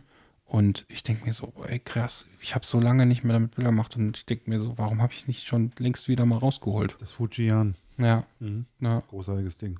ja. Das ist, ich ja auch. Habe ich mein, kriegst du mein bei letzten Amazon Urlaub neu für fotografiert. 35 Euro. Ja, Voll. neu. Ja, Ja. überleg mal. Ja. Ähm, und äh, das, da denke ich Man muss aber, was- Moment, nicht, dass man jetzt hier einen falschen Eindruck bekommt. Ähm, wir hatten auch schon mal über dieses Ding gesprochen. Das Ding ist im Prinzip, ich sage jetzt mal mehr oder weniger eine Effektlinse, Ja, weil äh, du sie kannst ja nicht von Schar. Aber was erwartest du bei 35 Euro? Nee, natürlich nicht. Ja. Ich habe es übrigens für 18 gekriegt. Ja, siehst du? Aber unscharfe Bilder ist doch jetzt ein Trend, oder? ja, natürlich, das hat er Also, gerne. ja, passt es ähm, doch. Ja. Ähm, hallo Hans. Ich habe da eine Linse für dich. Ja, ähm, nee, aber das ist, ähm, das ist äh, in der Mitte ist so ein bisschen scharf und drumherum ist dann nicht mehr so. Und das ist im Prinzip eine Effek äh, Effektlinse. Und ich habe sie zum Beispiel jetzt im, im Urlaub letztes Jahr benutzt, Mhm. weil ich einfach gesagt habe: so, naja, okay, alle Motive, die ich hier fotografiere in der Toskana, Mhm. äh, die sind äh, 35 Millionen Mal fotografiert worden, korrekt fotografiert Mhm. worden. Ähm, jetzt mache ich es halt mal anders Mhm. Hm. und mache sozusagen in Anführungsstrichen schlechte Bilder. Und irgendwie am Ende haben mich die Bilder aber trotzdem begeistert. Ja. Ne? Du hast auch grandiose Bilder von deinen Töchtern damit gemacht. Ja. Oder war das mit dem Objektiv? Ich weiß gar Nee, nicht. Mehr. was, was meinst du? Das mit dem Pool? Ja. Das mit dem Handy gemacht. Das ist mit dem Handy gemacht. Das hier, ne? Das ist krank, was die Dinger können. Ne? Ja. Das ist mit dem Handy gemacht, ja. Tatsächlich. Ist nicht für die Öffentlichkeit leider. Nicht für die Öffentlichkeit, weil meine Tochter. Ja, Ja. genau. Ja. An dieser Stelle ein großes Dankeschön an euch beiden, Ja, kein Problem. Ja, danke an dich. Jetzt Ja, haben wir's rund. Also, dass ihr mir die Möglichkeit gebt, dass ihr mir das Vertrauen schenkt. sehr gerne, sehr gerne. Ja. Wir können gerne noch quatschen. Also ich, ich werde warm. Nee, wir machen Was jetzt ist mal. unser Rekord? Drei? Ich Ja, weiß es nicht. Passt schon. Lass uns mal den Tipp der Woche machen, das ist schon in Ordnung. Ja. Außerdem habe ich Hunger, es gibt nämlich gleich noch Pizza. Selbstgemachte Pizza, ganz wichtig. Tipp der Woche? Ja, ich, ich habe, soll ich mal anfangen einfach? Ich habe wieder was in der, in der ähm, ARD-Mediathek ähm, entdeckt. Ich bin ja, seitdem ich kein Netflix mehr habe, ähm, ARD-Mediathek-Fan geworden, Mhm. Weil das, man bezahlt es ja sowieso. Man muss Rund- Rundfunkgebühr zahlen. Ja, und es ist halt da und ich nutze es jetzt. Ähm, es gibt die Sendung, Ex, äh, die Sendereihe Extra 3. Mhm.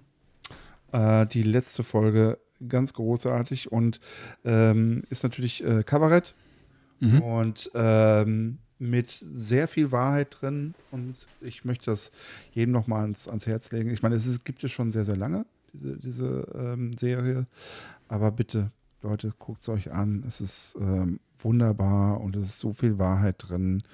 Und ich habe in, in, in der letzten, im letzten Jahr eigentlich oder letzten zwei Jahren den Eindruck, dass äh, eigentlich Wahrheit nur noch im, im Kabarett gesagt wird. Mhm. Alle anderen lügen.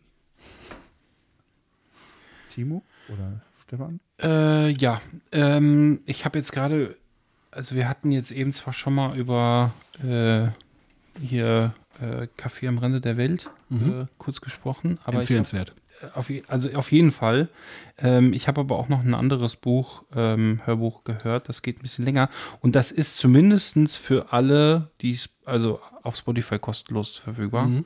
Ähm, und zwar geht es um äh, von Dale Carnegie Sorge dich nicht lebe. Passt vielleicht auch ganz gut zur Folge. Mhm. Äh, ich muss dazu sagen, Dale Carnegie ist, also es ist schon, ein, der hat so ein Standardwerk, wie man Freunde findet. Mhm. Klingt ein Buch wie für, für einen Zwölfjährigen, der jetzt irgendwie die Schule wechselt und soll jetzt neue Freunde finden. Ist aber so ein Standardwerk in der, der Kommunikation und auf jeden Fall empfehlenswert. Ähm, und Sorge dich nicht lebe geht jetzt quasi noch mal ein bisschen weiter. Ist ein bisschen später geschrieben. Ist aus einer Zeit zwischen dem Ersten und Zweiten Weltkrieg, wenn ich mich jetzt nicht täusche. Und deswegen, das muss ich nämlich dazu sagen, da sind manchmal Formulierungen. Erstens, man muss gut zu wissen, dass es in der Zeit ist, ähm, weil es wird dann mal über einen Krieg gesprochen und dann ist es aber der Erste Weltkrieg, nicht der Zweite. Und ähm, es sind manchmal Formulierungen drin, da muss man einfach nochmal immer bedenken, dass es um eine andere Zeit ging. Äh, wie zum Beispiel, da wurde zum Beispiel auch mal gesagt, dass eine Person an der Melancholie erkrankt ist, äh, wo man heute vielleicht von Depression. Depression, Depression spricht. Ähm, ist aber so unglaublich krass, dass das alles, was da gesagt wird, heute nach 100 Jahren immer noch äh, so, also so wertvoll ist, also so ein Gewicht hat. Und das Buch ist kostenlos bei Spotify drin. Und das, äh, das geht so sechs Stunden, glaube ich, sieben Stunden. Äh, auf jeden Fall empfehlenswert. Äh, Also was für ein Überseeflug. es ist halt, es ist auch spannend erzählt, weil es ist, Dale Carnegie hat ein sehr privilegiertes Leben in der Zeit geführt, hat mit äh, großen Wirtschaftsbossen zu der Zeit ähm, Kontakte gepflegt, ja, äh, war wirklich also einer von der oberen, der oberen 10.000, ja, ähm, und es ist aber trotzdem sehr spannend, ja, also einfach zu, zu, zu, also er war so, man kann schon sagen, er war so einer der Vorreiter der, der, der Leute, die mit, Persönlichkeitsentwicklung sich beschäftigt haben und sowas. Ja, und deswegen äh, schönes Standardwerk, auf jeden Fall empfehlenswert. Kann man, also ich habe es jetzt äh, mal im Urlaub komplett durchgehört. Äh, kann man auf jeden Fall empfehlen. Okay. Tipp von mir? Ja. Mhm. Ähm, ich möchte gern die Worte übernehmen, die Tolga mal hier auf einem Workshop gesagt hat. Mhm. Ähm, nehmt euch Zeit. Nehmt euch Zeit für eure, für die Menschen, die ihr liebt und sagt's denen. Oh. Das ist, glaube ich, ganz wichtig. Man nimmt sich heutzu- heutzutage zu wenig Zeit und sagt den Menschen, die ihr liebt, dass ihr sie liebt. Das macht man zu wenig. Ich glaube, das ist ein wichtiger Tipp. Sehr schön. Ja. In diesem Sinne würde ich sagen, bis nächste Woche. Bis nächste Woche. Ich danke euch. Ja, danke. Wir haben zu danken. Boah, ich habe jetzt Rücken. Rücken, Rücken. Ich muss mal aufhören. Ich habe Hunger und Durst. Ja, Pizza ist geil. Da freue ich mich. Boah, voll. Ja. Ich habe im Urlaub nicht eine Pizza gegessen. Ich hoffe, ich hoffe, der Teig taugt was. Das habe ich gestern angesetzt. Ja, sehr gut. Sehr gut. Gerade die Katze geschnarcht. Die schnarcht nicht. Nee. Nee, die, die andere Katze schnarcht.